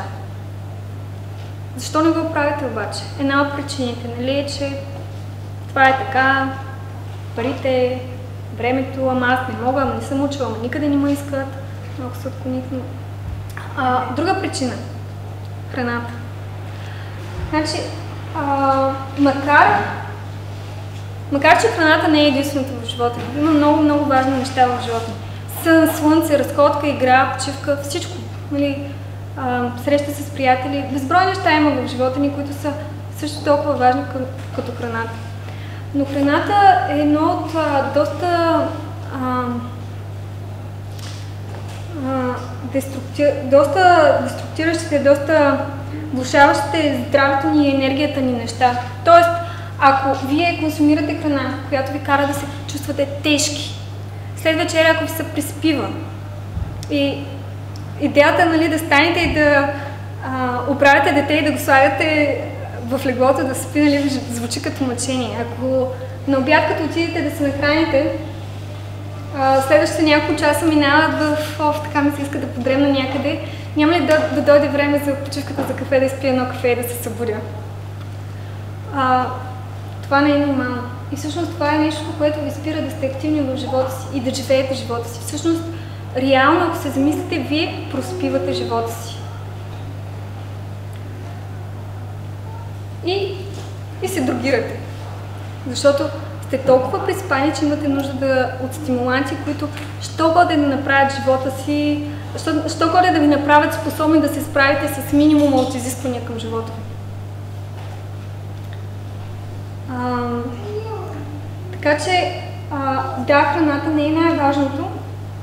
А, да, много, по много начини можем да подобрим живота си, но по мое мнение, нали, един от най-лесните, най-достъпните и най-ефективните начини е всъщност да започнем с храната.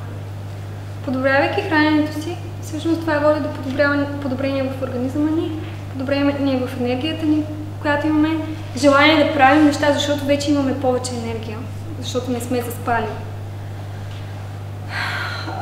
И естествено, нали, тези промени водят до това да искате да промените други неща в живота си, да искате да излизате повече на слънце, а не да спите в някой офис или магазин. А, така че да, храната не е най-важното, но може изключително много да помогне да промените живота си. А промяната в храната е нещо, което може да се случи много лесно. И тук не говоря, нали, изведнъж всички айде да ставаме суровияци, нали, за един ден. Изобщо не става въпрос за това. Мисля, елементарни неща, нали, като а, да се опитаме да намалим кафето и да го спрем. Ако имате нужда от кафе, просто спете. Мисля, спрете кафето и се наспивайте. Нали, сега, ако сте любители на кафето, естествено, нали, може да пинете от време на време заради а, всички позитиви, нали, като експириенс. Да, всъщност, нали, да споделя, нали, когато бяхме вегетарианци, нали, от време на време джинкфуда беше рибата. После като станахме вегани, от време на време джинкфуд беше и бяха млечните. След това станахме суровояци, нали, в голяма степен, нали, да подчертая, не сме целогодишно 100% суровояци, по-скоро на периоди, по периоди пак доминира суровата храна с малки количества готвена. Та когато станахме суровояци, нали, особено в тези по-дългите периоди, всъщност джънк фуд е нещо веган готвено. И когато увеличихме повече плодовете, нали, още по-рядко се случва това, но да, в общи линии, нали, психиката ни е така, че а, ние доста се свързваме емоционално с храната. В ден днешен, нали, примерно, когато всъщност то вече не ми става лошо ден, но да кажем, още като бяхме на вегетарианско хранене, да кажем, ако ми стане лошо, Нали знаете като дете, примерно как са ви давали филика с сиренце запечено и чайче? На колко от вас всъщност като тръгнат да се разболяват или нещо такова и всъщност им се прияжда точно това. Тази детската памет. А, така че ние се свързваме много, много силно с храната, която консумираме. Включително и на емоционално ниво. А, и няма нищо лошо в това от време на време нали, да консумирате нещо, което да кажем, не е оптималното, идеалното и така нататък. Това е, що бъде окей. Okay. Нали, естествено, вие го правите нали, съзнанието как то ще ви се отрази, ще си приемете последствията след това. Но, а, но като цяло, като решение за всеки ден, а, честно, не е болно това да се опитвате да се храните здравословно. Това не е болест. Болест е да знаете, че когато а, болест е съзнателно да се храните зле. Нали, това, което много от хората а, практикуват.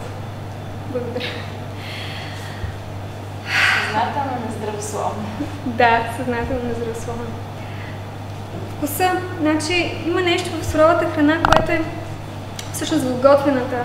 Готвената храна, нали, повечето хора, ако им кажат да се хранят само с а, плодове и зеленчуци, в естественото им състояние, ще кажа, о, то е толкова сблудкаво. Нали, да за какво го правите? Смисъл, вие сте решили тук да се измъчвате цял живот, за какво живеете. Истината е, истината е малко по-различна. Имаме го проблем с готвената храна, тя е много-много концентрирана, много силна като вкусове, в който случай се държа много сол, много мазнини. И това води до а, форма на невроадаптация, в която свикваме а, да очакваме и да изискваме по- по-високо ниво на стимулация, за да получим определено ниво на удовлетвореност. Когато решим да тръгнем в обратна посока, а, процесът е малко по-тежък, защото ние сме свикнали да едем това и всъщност трябва да почнем да едем нещо, което на, на първо време ни изглежда будкаво и безвкусно. Да не говорим пък, ако, че, че ако не сте избрали подходящи храни, да кажем, незрели, защото, примерно, един незрял плод е доста безвкусен и безинтересен. А, нали, това допълнително влушава въпроса, а масово хората, масово това, което се продава и това, което хората купуват, всъщност не е готово за ядене. Буквално не е готово за ядене и трябва всъщност наистина да се постараете да купувате зряла, озряла, умекнала, нали, за подвете, примерно кайсите. Кайсите трябва да са меки не може да са твърди. Когато са твърди, те просто не са озрели. Да, може да стават перфектни за компот, нали, да си запазват структурата, но реално не са това, което трябва да бъдат. Същото е за черешите, между другото. Всичките череши са червени, някои са шарени и така нататък. Казвам защото сега е сезона, нали, всеки купува. А, но истината е, че ако черешите са червени, нали, тук там нали, има някакви по-тъмно червени, в общия случай тези череши не са озрели. Повечето червени череши всъщност са тъмно червени. Много тъмно, като са сирена кръв почти червени. Това са зрелите череши, това са сладките череши. Другите са тръгнали към сладост, но не са стигнали. Те, искам да си малко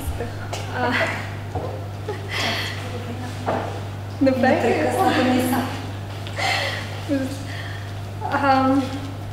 Та, я припомня за какво говорих преди подобет. За вкуса. А, да, за вкуса и за света. За наркоманията, защото това да. е абстиненцията. Да, всъщност това, нали, храната, тя е... Храната е най-достъпният наркотик. Особено концентрираната, много силно вкусена храна, няма по-силен наркотик от храната. Не се заблуждавайте, че виждате само наркотиците са наркотици. Храната е наркотик, света е наркотик. А, всички те влияят на системата ни на възнаграждение в мозъка. Всички те, при всички тях се активира а, извора на допамин, който ни кара да търсим и да искаме още. А, Храната е наркотик. Особено когато консумирате а, твърде концентрирана, твърде вкусена храна. Съответно, когато се опитате да, да преминете на по-чисто хранене, независимо какво включва това, независимо дали минавате от готвено на сурово, независимо от това дали минавате от много солено към по-малко солено, от много мазно към по-малко мазно, каквото искате си изберете. А, във всички тези случаи, това, което се случва е, че изпадаме в абстиненция. Нещо повече. Започваме да го искаме още повече. Още повече от преди. И това е един такъв механизъм а, в тази система на възнаграждение в мозъка. А, значи, примерно, ако да кажем животно, всъщност всички животни го имаме, това е а, това са древни структури в мозъка, нали, там се намерят. Нали, те, включват, те влизат в тази система. И да кажем, ако дадено животно известно време не се е чевтосвало, системата работи така, че да го кара да иска още повече от обикновено да се чевтосва и да го прави по-достъпно за средата си, по... По този начин подсигурява оцеляването на гените. Всъщност тази система се, се грижи основно за оцеляването оцеляването на гените ни а, и съответно в най-малко усилия да се постига всичко. Както работи нали, за чевтосването, по същия начин работи за храната. Съответно, когато ние спрем нещо, към което сме привикнали, т.е. регулярните чевтосвания или регулярната силна храна, а, тази система ни кара всъщност да искаме още повече от тази храна. Това е периода на абстиненция. Същата система работи при дрогите. Същата система работи при кафето. Същата система работи при шоколада. Същата система работи при алкохола. Винаги. А, това е период, през който трябва да минете. Но какво се случва? Ако издържите примерно месец, примерно с солта, мисля, че дори две седмици при нея са достатъчни, нещата да ви станат отново вкусни, без да ги пресолявате. Аз лично почти не консумирам сол. Най се случва, ако е добавено в нещо и така нататък, но не соля. Съответно, на този етап неща като целина, селари, стръкчетата, те са изключително солени. Колко от вас всъщност са усещали колко солена е, солено е селарито? Или всъщност голяма част от зеленчуците? Колко от вас всъщност могат да усетят солта в тези храни? Причината да не може да го, го усетите е нали, точно това привикване към солта. А, всъщност, привикването към всяка по-силна и по-концентрирана храна ни прави по, а, по-безчувствени. Всъщност тя намалява сетивата. И трябва да минем през период, в който а, сетивата ни отново да станат по-чувствителни. И този период може и да не е най-лесният да минаваме. Но когато го минете, храната отново става вкусна. Не знам колко от вас са гладували, аз съм гладувала няколко пъти. Горе-долу след всяко гладуване а, храната, било то дори един варен картофел, като най-вкусното нещо на света. Най-вкусното. Се усещате в картофа в такава пълнота, каквато никога преди това. Независимо колко му сложи. И съответно, когато нали, това се отнася за всичко, когато чистим сетивата си, всъщност истината е, че храната е безкрайно вкусна и богата. Безкрайно. Проблема не е, че суровата храна не е вкусна. Напротив, много по-вкусна и много по-хубава от всичко останало. Проблема е, че а, сетивата ни са свръхстимулирани и са, и са изгубили тази, тази сензитивност към, към вкусовете. И това е съмнително труден, труден момент за преодоляване, когато сменяме храната си. Но, казвам ви, струва си, хубаво е. Храната не е скучна, много е приятна за ядене. А, така. Друго какво да споделя за това? В тези случаи как можем да си добавяме картофи, и Това го няма като вариант. Да си добавяме? Ами, за сурови картофи, да, за ориз, който не е термично обработен. Да, ами, значи има различни течения в суровоядството, нали, както казах, някои държат нали, непременно всичко да е само сурово. А, други допускат нали, някакви готвени неща. А, има различни принципи, нали, примерно а, процентното съотношение на макронутриентите, въглехидрати, мазнини и белтъчини да е в различни пропорции. Значи това, което за мен нали, най... Нали, говорим за оптимално, тук нали, говорим за... Нали, за това, което се, се, се чувствате най-добре. Всъщност това е когато енергията ви идва, нали, калорийността нали, в храната ви идва най-вече от въглехидрати и в по-малка степен от протеини и от мазнини. Нали, много е известно като 80-10-10 вариант. А, има си последователи, има и такива, които не го харесват. Нали? Това е въпрос на личен избор, на опит дори. Всеки трябва да опита сам и да реши за себе си. А, и сега има много хора, които казват, нали, на суровоядски режим, етите 80-10-10 и сурово до 4 часа, примерно. Тоест, а, да ядем само сурово до 4 часа и след това може да ядем готвено, обаче придържайки се нали, към това процентно съотношение на източниците на калории. И даже каза, че това е абсолютно същото като, ядеш, като да ядеш само сурово. Всъщност, по мое мнение, това не е така. Всъщност, с готвенето, нали, винаги правиш някакъв компромис. Термично обработвайки храната, тя вече не е цялостна. С а, загубата на вода, с загубата на нутриенти от храната, тя не става, вече не е цялостна. Вече имате загуба на елементи. А, технически просто не. Естествено, колкото по-висока е термичната обработка, толкова по-зле. Плюс натрупват се токсини, плюс да ни говорим, че е несвойствена за организма, нали, самата готина храна сама по себе си. Но, но като, и да, има разлика нали, да се яде готвено, но не е всъщност толкова голяма, колкото много хората всъщност твърдят. Защото когато си изправен пред избора, дали да, нали, когато имаш нали, изобилие от а, зрели, качествени плодове зеленчуци, нали, тогава няма проблем.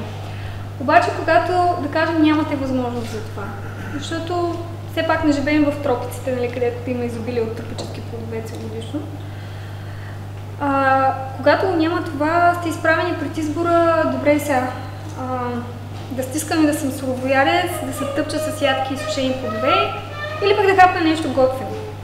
И тук е мястото, където всеки трябва да вземе решение за себе си. Много, в много отношения а, една готвена храна, примерно картофи, които са да кажем на пара, не са били готвени с мазнината, не са изключително солени излишно, са много добър вариант да си, да си нахраните, когато нямате друг вариант. А, нали, трябва сами да си проучите нали, доколко пък това да ядете, примерно една котия форми, която пък нали, сушени форми или сушени смокини и, и, да знам, две чаши с ядки е добре, по мое мнение не е най-добрият вариант. А, поня... Просто в този климат, в който живеем, понякога е по-добре да направите компромис и да не ядете сурово, да хапнете нещо, което е сготвено. А, но сготвено нали, с минималната термична обработка, с минималното стимулиране на вкусове и така нататък. По-добре, отколкото да изпадате в крайности. Аз ще съм суровоядец на всяка цена. Нали, няма, няма нужда от такова нещо. Тук, понеже се породи дискусия така вече онлайн, пак се връща на естествения въпрос. B12 и... да, B12 любимия. Ами, да, сега е B12, преди бяха, преди бяха белтачините. Белтачини, калци, магнези, B12, витамин D, не знам кое ще следващо. Абсолютно. А, значи всеки може да направи а, отново свое собствено проучване. А, нали, има достатъчно източници, които казват, нали, че а, повечето случаи не е необходимо да си го добавяме чрез таблетки и така нататък. Някои казват, че го синтезират бактерии в червата ни, други, че го има в почвата и така нататък. А, в аз не вярвам, че храняйки се с, а, с плодове и зеленчуци, такива каквито природата ни дава, непременно трябва да приемаме таблетки, за да сме здрави. Просто има нещо грешно тази идея. Смисъл, това са много повече някакви спекулации, ако ще на фармацевтиката или на който решите, отколкото истинската пътечка към това да, да сте пълноценни. Да не говорим, че а, нали, липса на B12 имат включително всеядни. тук е една точка да спомена. Всъщност, а, цялата ни идея за бактериите и всичко останало, всъщност, нали, темата за B12, нали, тъй като го има, нали, ако не си миете толкова старателно плодовете и зеленчуците, всъщност от почвата и от бактериите има достатъчно B12, който да ви задоволи нуждите. И тук е една моменtka по отношение на бактериите и паниката на хората от тях. Значи, живеем в свят, в който хората се хранят изключително мръсно и поставят изключително мръсни неща в телата си. Значи, ако искате, вземете месото, взимате трупа на едно животно, изгаряте го там, опичате го, изяждате го, вкарвате го в една система, която е топла, влажна и с много бактерии. Какво се случва? Гни. Мирише. Мирише много гадно, нали? А, гние. Червата ни са не... Да. Червата ни са, са твърде дълги, за да го изхвърлим на време. Съответно, влияли на флората. по-склонни сме да хванем паразити и така нататък, за разлика от хищниците, които имат по-висока киселиност, имат по-къси черва и нали, един куп преди неща, които може да изчетете, ако желаете. А, и това е само един пример. А, Същото въжи нали, за всеки стимулант, който се сетите. Било то кола, кафе, шоколад, няма значение. За всеки стимулант. Между другото, аз консумирам от време време шоколад. А, в повечето случаи е под формата на какао с нещо. Така че, нали, тук да спомена. И също кафе обичам на, примерно като аромат на десерт, но кафе само по себе си не пия. А, да, затлачваме тялото си с много неща много мръсотия. Тялото ми е много мръсно отвътре. Повечето хора.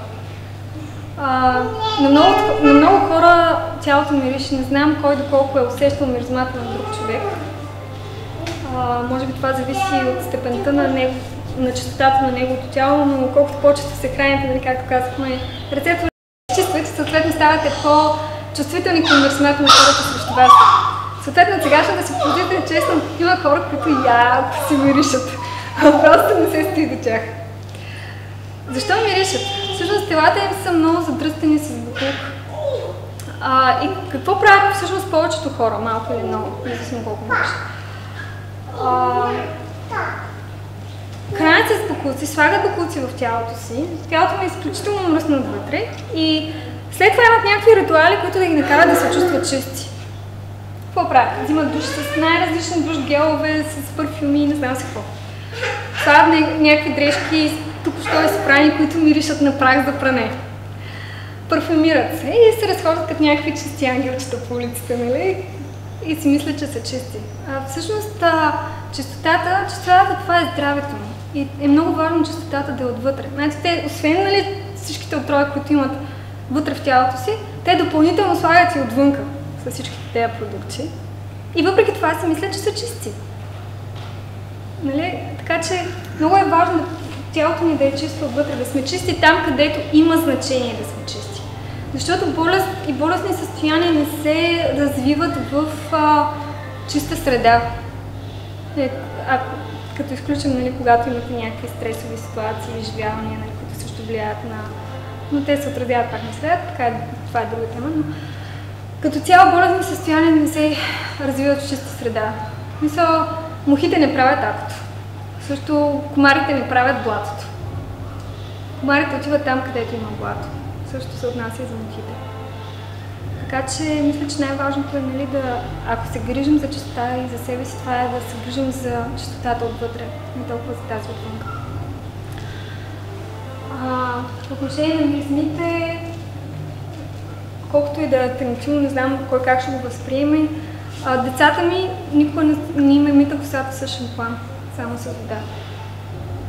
Въпреки това, косата им не е мазна, не е спастена, както родителите ми много време се притесняваха, ама как нали, то бебето видиш ли на два месеца, що ли му съм се помислим главата. Щяла да стане спастена и не знам се какво. А, сапун в общи линии се ползвали за ръцете и краката и дупетата. Това е. Не са имали сапонисване на цялото тяло не, си спомням да се случва. И въпреки това, нали, много отношения това се отнася. Нали, аз, аз се понисвам косата, нали, да кажа, но да кажем, се случва веднъж седмицата или на 10 дни. А, по отношение на личната хигиена, също използвам сапун за отделни части на тялото, но душгел, да, да ви, не знам, доста години не се е случвало да използвам. Нещо повече, тези душгелове, като изключим нали, колкото вещества съдържат, са и страшно парфюмирани. Всъщност, когато ви се чисти обонянието, е доста неприятно. Спомням си, като живеехме в София, като идвахме тук, понеже вкъщи ползвам пръпове, които са без миризми. И идвайки тук, нощувайки при родителите ми, всъщност беше ми много трудно да заспя. Тази възглавница така мирише. Направо. Толкова беше ужасно. И въпреки това, това много хора го намират за супер. Не о, колко хубаво мирише това. Това е толкова сбъркано. На толкова много нива.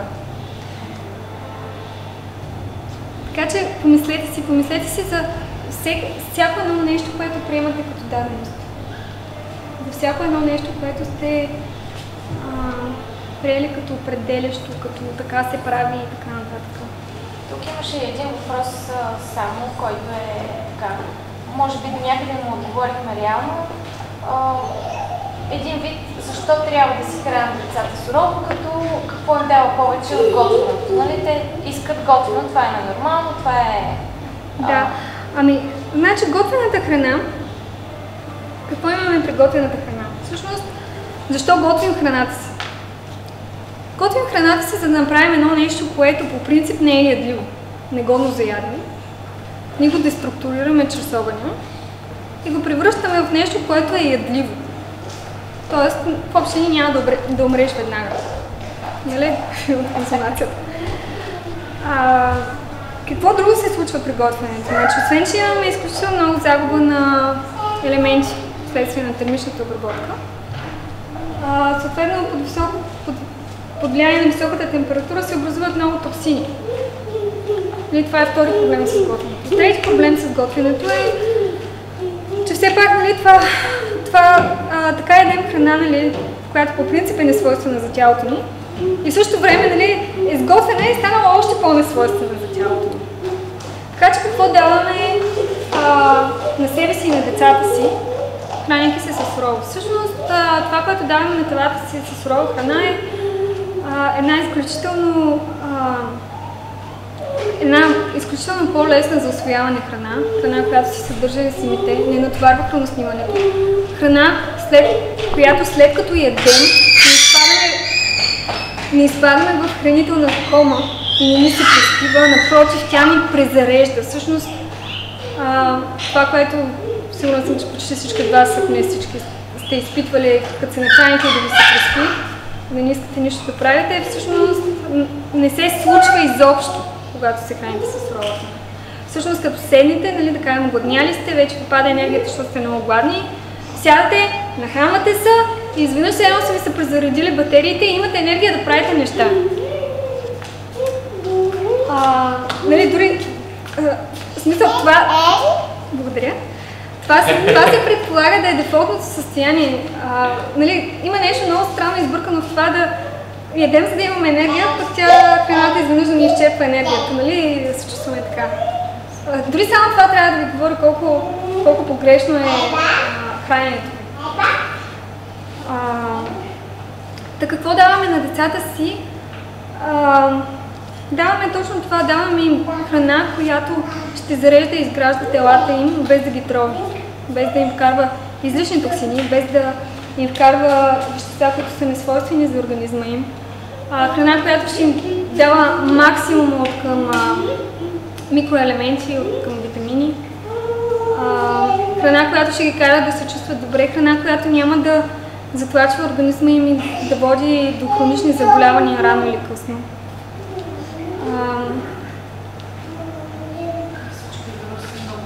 Да, всичко вирус. Ми, да, то всъщност това е когато заплачем организма си, както казах малко по-рано тук. Всъщност, когато заплачем един организъм в определена степен, всъщност а, той става благодатен за развитието на патогени, на патогени организми, на микроби и така нататък, на вируси. А когато е, а, един организъм е чист, нали, в смисъл а, един бистър извор, нали, една река, а, там няма да се развият комари. Или комарите се развият в блатото, там където е заплачено. И всъщност даваме това на децата си. Естествено, нали, тук да спомена, а,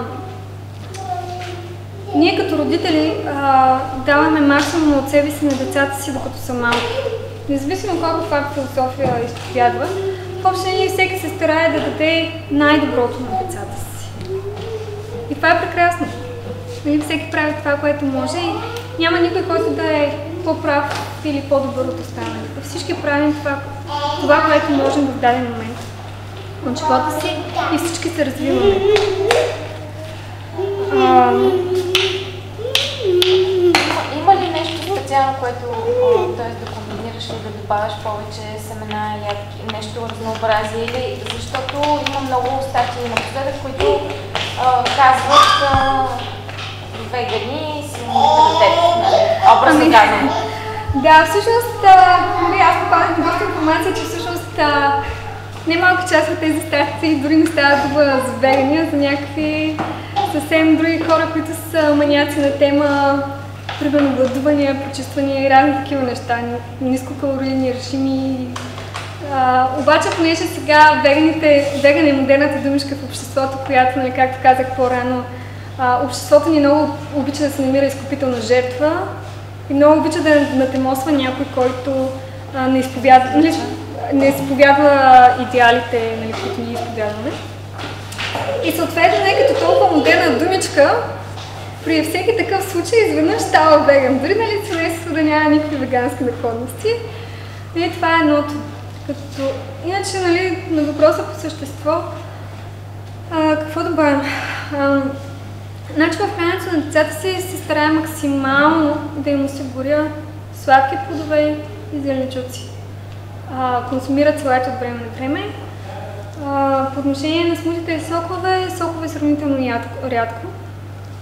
А, от време на време, между другото, не съм им давала сокове като бебета. Това не споменах. Всъщност това, което се пие, това, което пиеха като малки, беше вода в чиста форма. Също и по време на кърменето не съм давала вода, чак като всъщност вода пожелаха чак при захранване и то, когато почнах да им давам по-тежки храни, примерно като хляб, а не плодове, които са с богато съдържание вода. А, съответно, те не са отгледани на сокове, не са отгледани на смутите, отгледани са на храна. А, да, старая се да им давам храна. От време на време, рядко правим сокове, от време на време рядко правим смутите. Ядат зеленолистни, отиваме в ресторант, поръчват си спаначена салата на стъпица и си я ядат с кеф за очуда на всички наоколо. А, но за тях това е храната, нали? те, те виждат това от нас, те са свикнали с този вкус, те са научени на него. Сега едно дете, което, а, което те първа, да кажем, се е хранило по определен начин и а, искате да му вкарате някакви храни, примерно зеленолистни, спаналки и така нататък.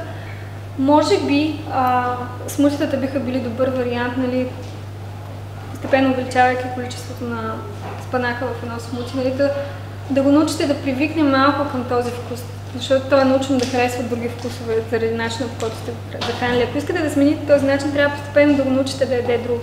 Можете, примерно, нали, ако е по-малко, а, и ако давате авокадо, примерно, може да намачкате едно авокадо и да вземете една маруля, която да нарежете на ситно и просто да я объркате с авокадо.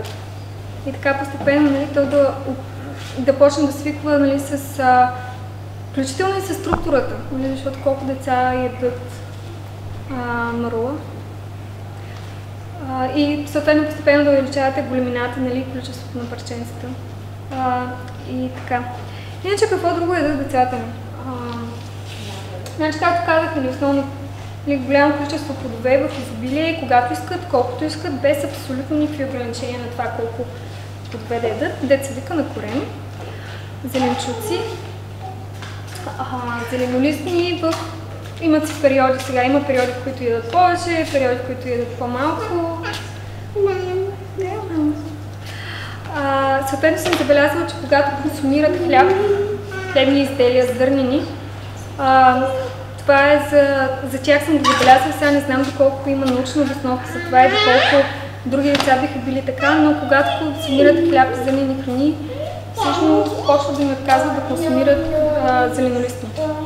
Значи това съм го забелязала няколко пъти, на няколко пъти се е случвало, нали, така им храним с, а, нали, стандартно с подвезени чуци зеленолистни и да кажем става нещо някъде сме или по някаква друга причина заети сме и примерно ядат повече, а, почват да ядат хляб или да кажем нещо, нещо друго от тази група храни. В резултат на което почти веднага казват, аз салата не искам да ям. Особено ако е зелен. Не говорим сега за домати и краставици, които танически са нали? А, говорим нали, просто за зеленолистните. Има го обратния процес, всъщност нали, на няколко пъти по същия начин, след спиране на, а, на хляба и този тип храни, в рамките, например, на седмица, след това а, отново започват да проявяват интерес към зелените храни.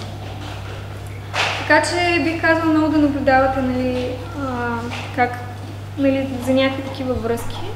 Много са полезни, особено когато искате нали, да предлагате определени неща в храненето. Защото, нали, виждайки тази връзка, сега няма как да му дам хляб и да го карам зелено. Не иска, смисъл, има е тази връзка сега. Не мога да подборя изкуствено да насилвам детето. Но пък когато няма хляба, нали, с кейф изявата по цяла огромна купа с фанати, нали, смисъл. Така че е хубаво да се съобразявате и да наблюдавате децата нали, за реакциите им нали, по отношение храната. Елена беше изключително изчерпателна. Само още нещо да, да, точно да, да, да помолим така и за някакви Да. финални... А, само да довърша за храната и да се да Та, другото, което ядате, значи много набързо, а, понякога ядат овесени ядки, сурови с студена вода, нали, не съзряла. Съответно, сушени плодове, ядки, семена. А, гледам да е в по-ограничено количество, т.е. когато го искат, имат нужда, не е просто трябва да ядат това, за да се набавят или какво си. Често се случва, примерно, когато няма някакъв вариант да хапнат нещо друго.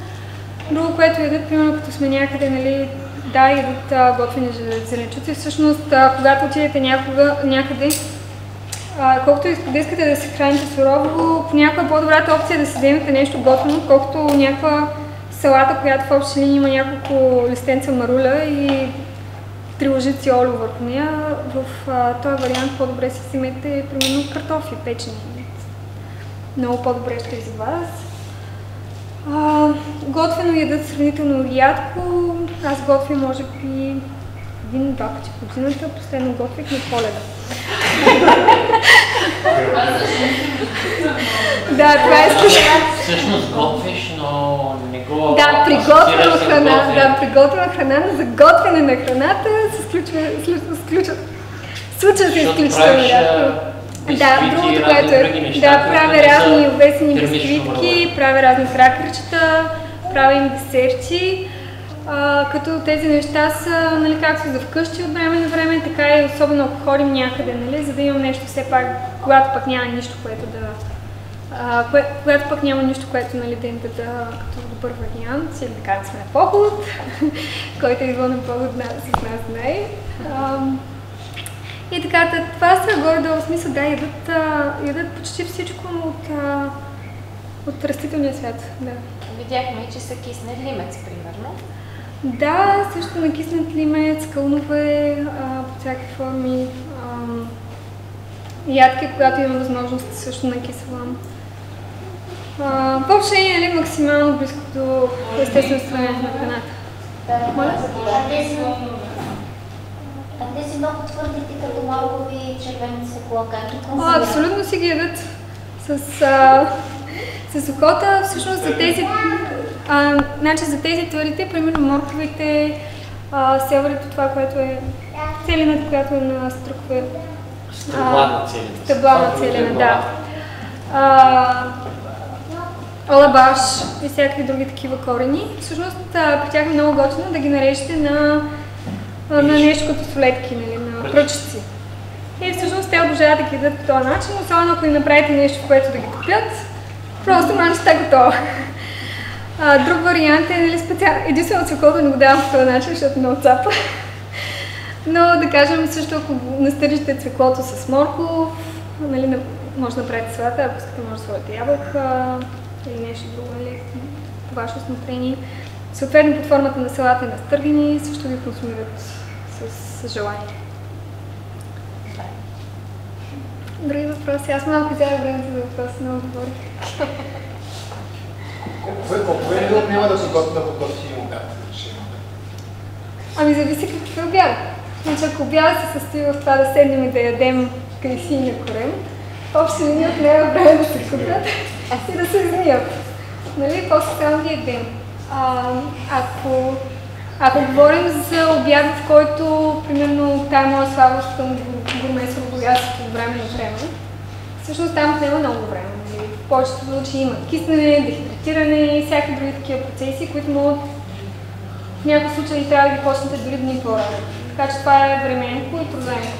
Но, както казахме, за мен това е по-скоро това е по-скоро храна за, за правници от време на време, но не като ежедневна храна. По отношение на, на кракери, на бисквитки и така нататък, примерно правенето на, едно, на едни овесени бисквитки, като време, а, да кажем вечерта, дори примерно след като са си легнали, да кажем, или с децата, или според възможностите, в една купа слагам вестните ядки, слагам каквото друго съм решила, като а, сушени плодове, ядки, семена, нали, не твърде много неща, тъй като, както казах, съм привърженик на това в една храна да няма твърде много неща. Значи сега е много популярно а, някакви храни, които имат а, вътре по 20 а, супер храни и съставки. Нали. А, това е според мен е много свъртано. Да слагаме някакви неща, правя ги сравнително вкусни. Да, като време отнема горе-долу да сложа някакви неща в тази купа, да ги разбъркам, нали, да ги направя, да ги направя на формата на бисквитки на тъгъчката на едно топче в на слагане, или да се расте, или просто да се нарежи, след което се слага в дехидрататора. И по време а, през нощта до сутринта в общи дни се съгнали достатъчно, могат да бъдат консумирани. Те реално могат да бъдат консумирани преди да е съкнат, но да кажем се запазят формата по-добре. Съответно, правейки това вечерта, до сутринта има готова закуска или снак, ако излезе. 10 минути плюс 8 часа. Да. Съд- Това, значи трябва да призная, че това, което всъщност ми отнема най-много време е миенето на зеленолистни. Значи тук, не е дошло да мия салати, още повече, нали, че тук са, нали, когато търсиш нали, по-чисти салати, те са в общия случай доста камнички. И всъщност това е което ми отнема много време и след примерно едно позоруване, в което съм напълня една голяма чанта с салати, спанаки, всякакви такива неща, отнемат примерно някой друг час или два. А, говоря за голяма чанта. нали? А, отнема известно време на мивката да ги измия. А, Следно гледам да ги измивам нали, всичките заедно, защото просто е по-бързо, по-втимално. Та измивам ги, изсушавам ги нали, с центрофуга, нареждам ги по кутии а, и съхранявам в хладилника. Съответно, когато реша да правя салата, просто валя кутията, режа, нали, нарязвам всичко, което е за салатата и става много по-бързо. Горе-долу на половина, ако не повече се съкръщава времето. Тук да кажа и за количествата, значи повечето хора като кажат салата, да разбират нали, 300 грама, грама салатка. Значи с 300 грама салатка, ако салата за вечеря, няма да се нахраните. В смисъл, горе-долу количество салата, която трябва да изядете, нали, за да имате все пак някакво ниво на удовлетвореност, колкото правите за цялото си семейство в общи линии една купа. Да, това е огромно количество, а, но не трябва да забравяте, че всъщност е предимно вода. А, тялото и стомаха се а, привиква нали, към такова количество. Не е проблем да консумирате такива големи количества. Всъщност проблемът е, че сме свикнали на твърде концентрирана храна, която е довела до това нали, да сме свикнали да ядем просто в много малки и миниатюрни количества. А всъщност по-нормалното е да ядем в големи количества. Примерно а, няма проблем в това да изядеш килограм, килограм и половина по две, за да се нахраниш. А, съвсем окей е да изядеш 10 банана. Колко от вас са яли 10 банана? На едно сядане. Един след друг. Нали, повечето хора, като им кажете, а, събират се. Значи повечето хора, като им кажеш, нали, да се хранят по две зеленчуци, нали, те точно това имат пред главата си.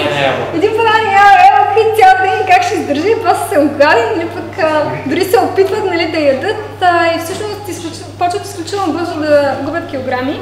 Да, при смяна на хранителни режими трябва да подчертая, губят се килограми. Но въпросът е защо губите килограм? За- Защото значи има две причини. Едната причина е, че надояждате, което не е окей. Okay. Другата причина е, че тялото ви се изчиства от токсини нали, от всичко излишно, което е окей okay, и е супер. А, съответно, много е важно да ядете достатъчно. Това, което забравих да спомена и си бях набелязала да кажа е, а, много е полезно да, да онлайн, да си намерите някакъв сайт, в, а, в който нали, може да си вкарвате а, различни продукти, нали, да ви се изчисляват хранителните вещества, които, сте, които се набавят чрез тях. Пример за такъв е. А, естествено има най-различни. Нали, въпрос на личен избор.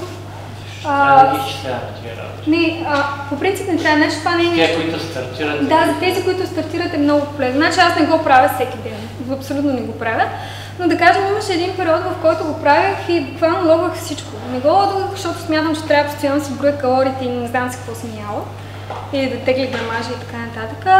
Точно за да придобия представа, нали, коя храна, нали, колко енергия под формата на калории ми носи, до каква степен успявам нали, да задоволя някакви нужди от а, макро и микро а, елементи.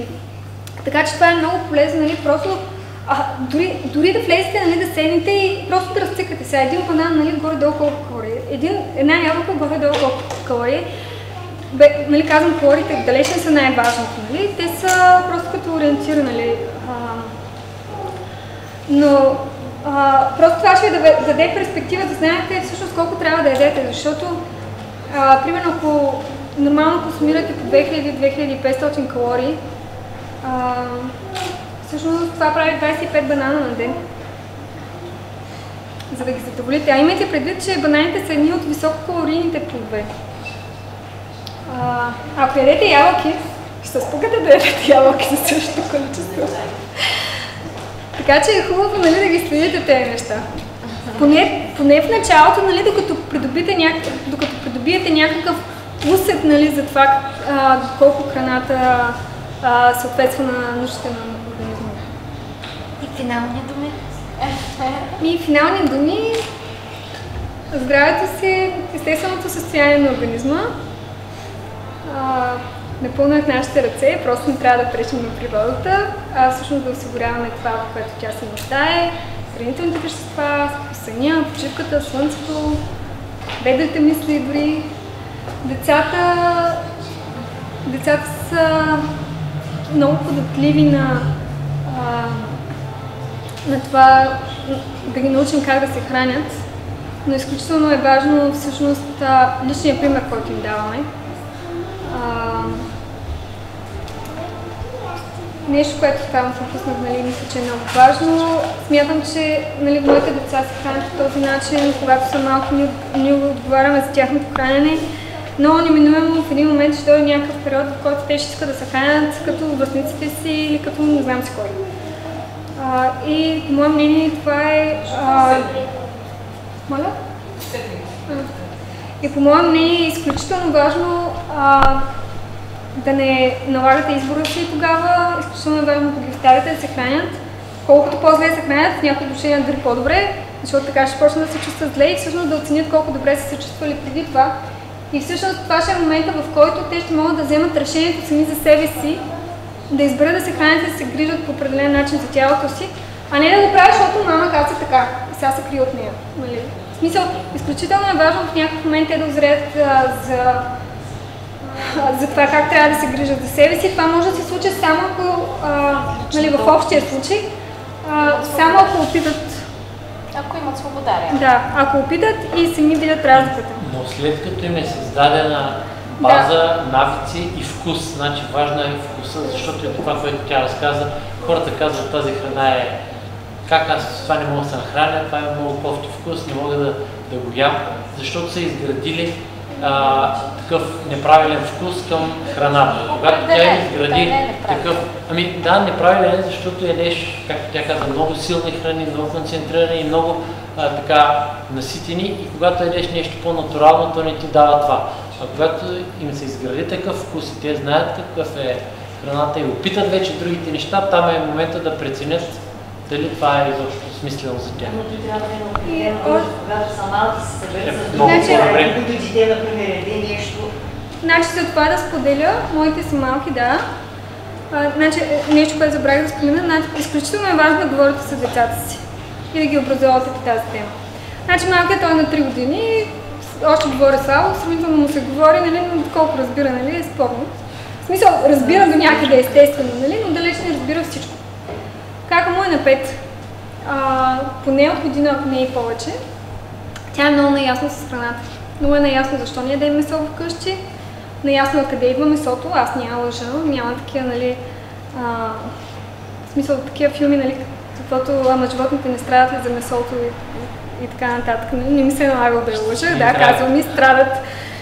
А, знае, че млякото, всъщност тя беше свидетелка на кърменето на брата си, знае, че млякото е за бебетата, знае, че правото мляко е за таленците.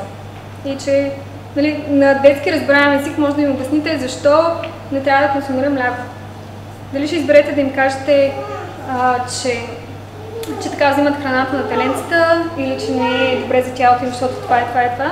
Това е въпрос на личен родителски избор, нали? познавайки собственото си дете, да прецени кое е най-подходящия начин да му представи информацията в определена възраст. Но е изключително важно да се говори. Съответно, нали, тя още, на, още преди да стане на 4 имаше доста добре формирано мнение по отношение на храната, какво може, иска и така нататък яде. За нея няма храни, които са забранени. В смисъл, може би с изключение на бялата захар на какаото, да кажем, нали, че има две храни, които са забранени просто защото на този етап не е имало възможност да ги обясня достатъчно добре. А, въпреки, че за какаото вече разбра. А, съответно, знаеки всички тези неща, нали, и отивайки на рожден ден с нея, на други деца, където се консумира всичко. Където тортата нали, си е с захар, с какао, с млечни, сметана и всичко останало. А, е, в случая нямаше.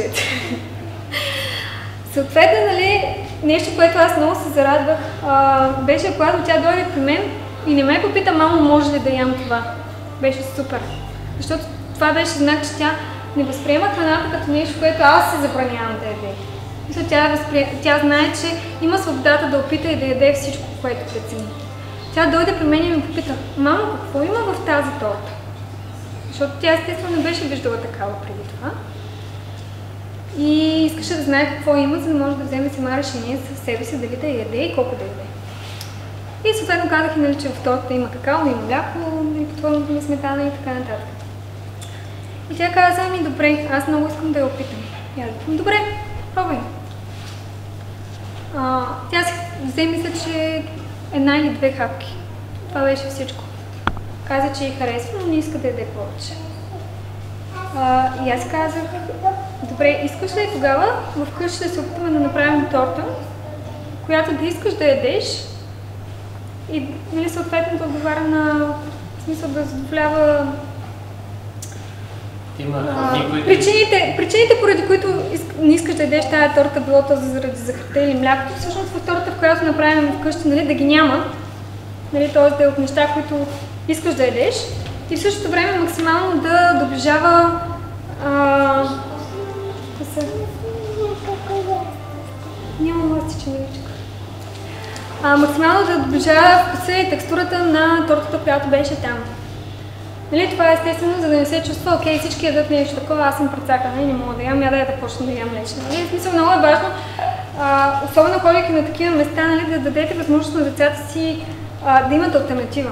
Тоест, дали ще бъде при рождения ден да го нахраните, нали, да не е толкова прегладнял, нали, да гледа като вълче. А, дали, ще говор, нали, дали ще говорите докато сте там, ще му дадете нещо да яде или ще си оговорите вкъщи да направите нещо. А, в общи е много полезно да, да можете да замените храната, нали, която се предлага с а, добър вариант. Не е нужно да е най-добрия, най-перфектния, просто е достатъчно добре достатъчно вкусно. Между другото, децата много се радват да участват в приготвянето на храна, така че ако ги включите в една торта, дори да не е толкова хубава, колкото е била пешката, всъщност те ще са много по-щастливи и ще им е много по-вкусно, защото те ще се я правят. Така че, а, говорете с децата си, обяснявайте им, не дейте да им забранявате в никакъв случай, защото това не работи. Виждала съм родители, които Значи детето им се скъса да реве, на- значи те бяха вегани, мисля, че детето им се скъса да реве, защото имаше някаква пица с кашкавал и той искаше да я опита на- един рожден ден. Дори на мен ми стана изключително болно за това дете. А, въпреки това не му позволиха да се вземе дори една хапчица. И чак така степен, нали, смисъл, да, може не е хубаво, нали, ама една хапчета няма да се гътне, нали, освен така махнява някаква алергия, която обаче, нали, съответно се отработва отново с говорене, а не с забрани. Съответно, начинът не е да забранявате, начинът е да говорите с децата си, да им обяснявате постоянно, редовно, от малки, колкото по-рано, толкова по-добре, но и по-късно пак е добре. А, Извинявайте, тази ситуация намесите ли се да защитите детето или нещо да кажете на детето или просто Ами, за съжаление, тогава нямах тази смелост а, и увереност да го това не правя. е добре да се намесваме и да е добре. Ами, мисля, че това е нещо, което всеки би трябвало да прецени сам в ситуацията, нали, доколко се чувства уверен, подготвен да се намеси, доколко а, намесата му би помогнала или би навредила в дадена ситуация. Нали. Всяка ситуация си има своите аспекти, нали? така че така че мисля, че това е нещо, което може да решите само в конкретната ситуация, никой не може да даде готов отговор. Да.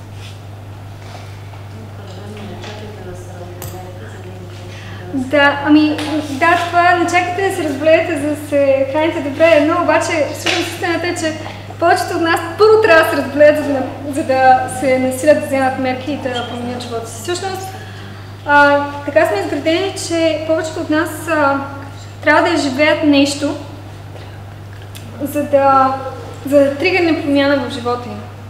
Просто сме много, много сме а, много сме податливи на, на това да вървим с тялото. И трябва да се случи нещо, което наистина малко или много да обърне живота ни. Малко или много да обърне живота ни, за да ни накара да се огледаме и да променим нещо в него. Така че да, хубаво е да не чакате да се разболеете. Но за съжаление при много хора, включително и аз, точно болестта беше нещо, което тригърва това да приемете промени в живота си. Ели, много ти благодарим. Явно ти харесва да си лектор, така че от тук нататък няма спасение. Безкрайни благодарности за много изчерпателната и много вдъхновяваща и въвеждаща в много размисли така беседа. Добре, имаш властичка?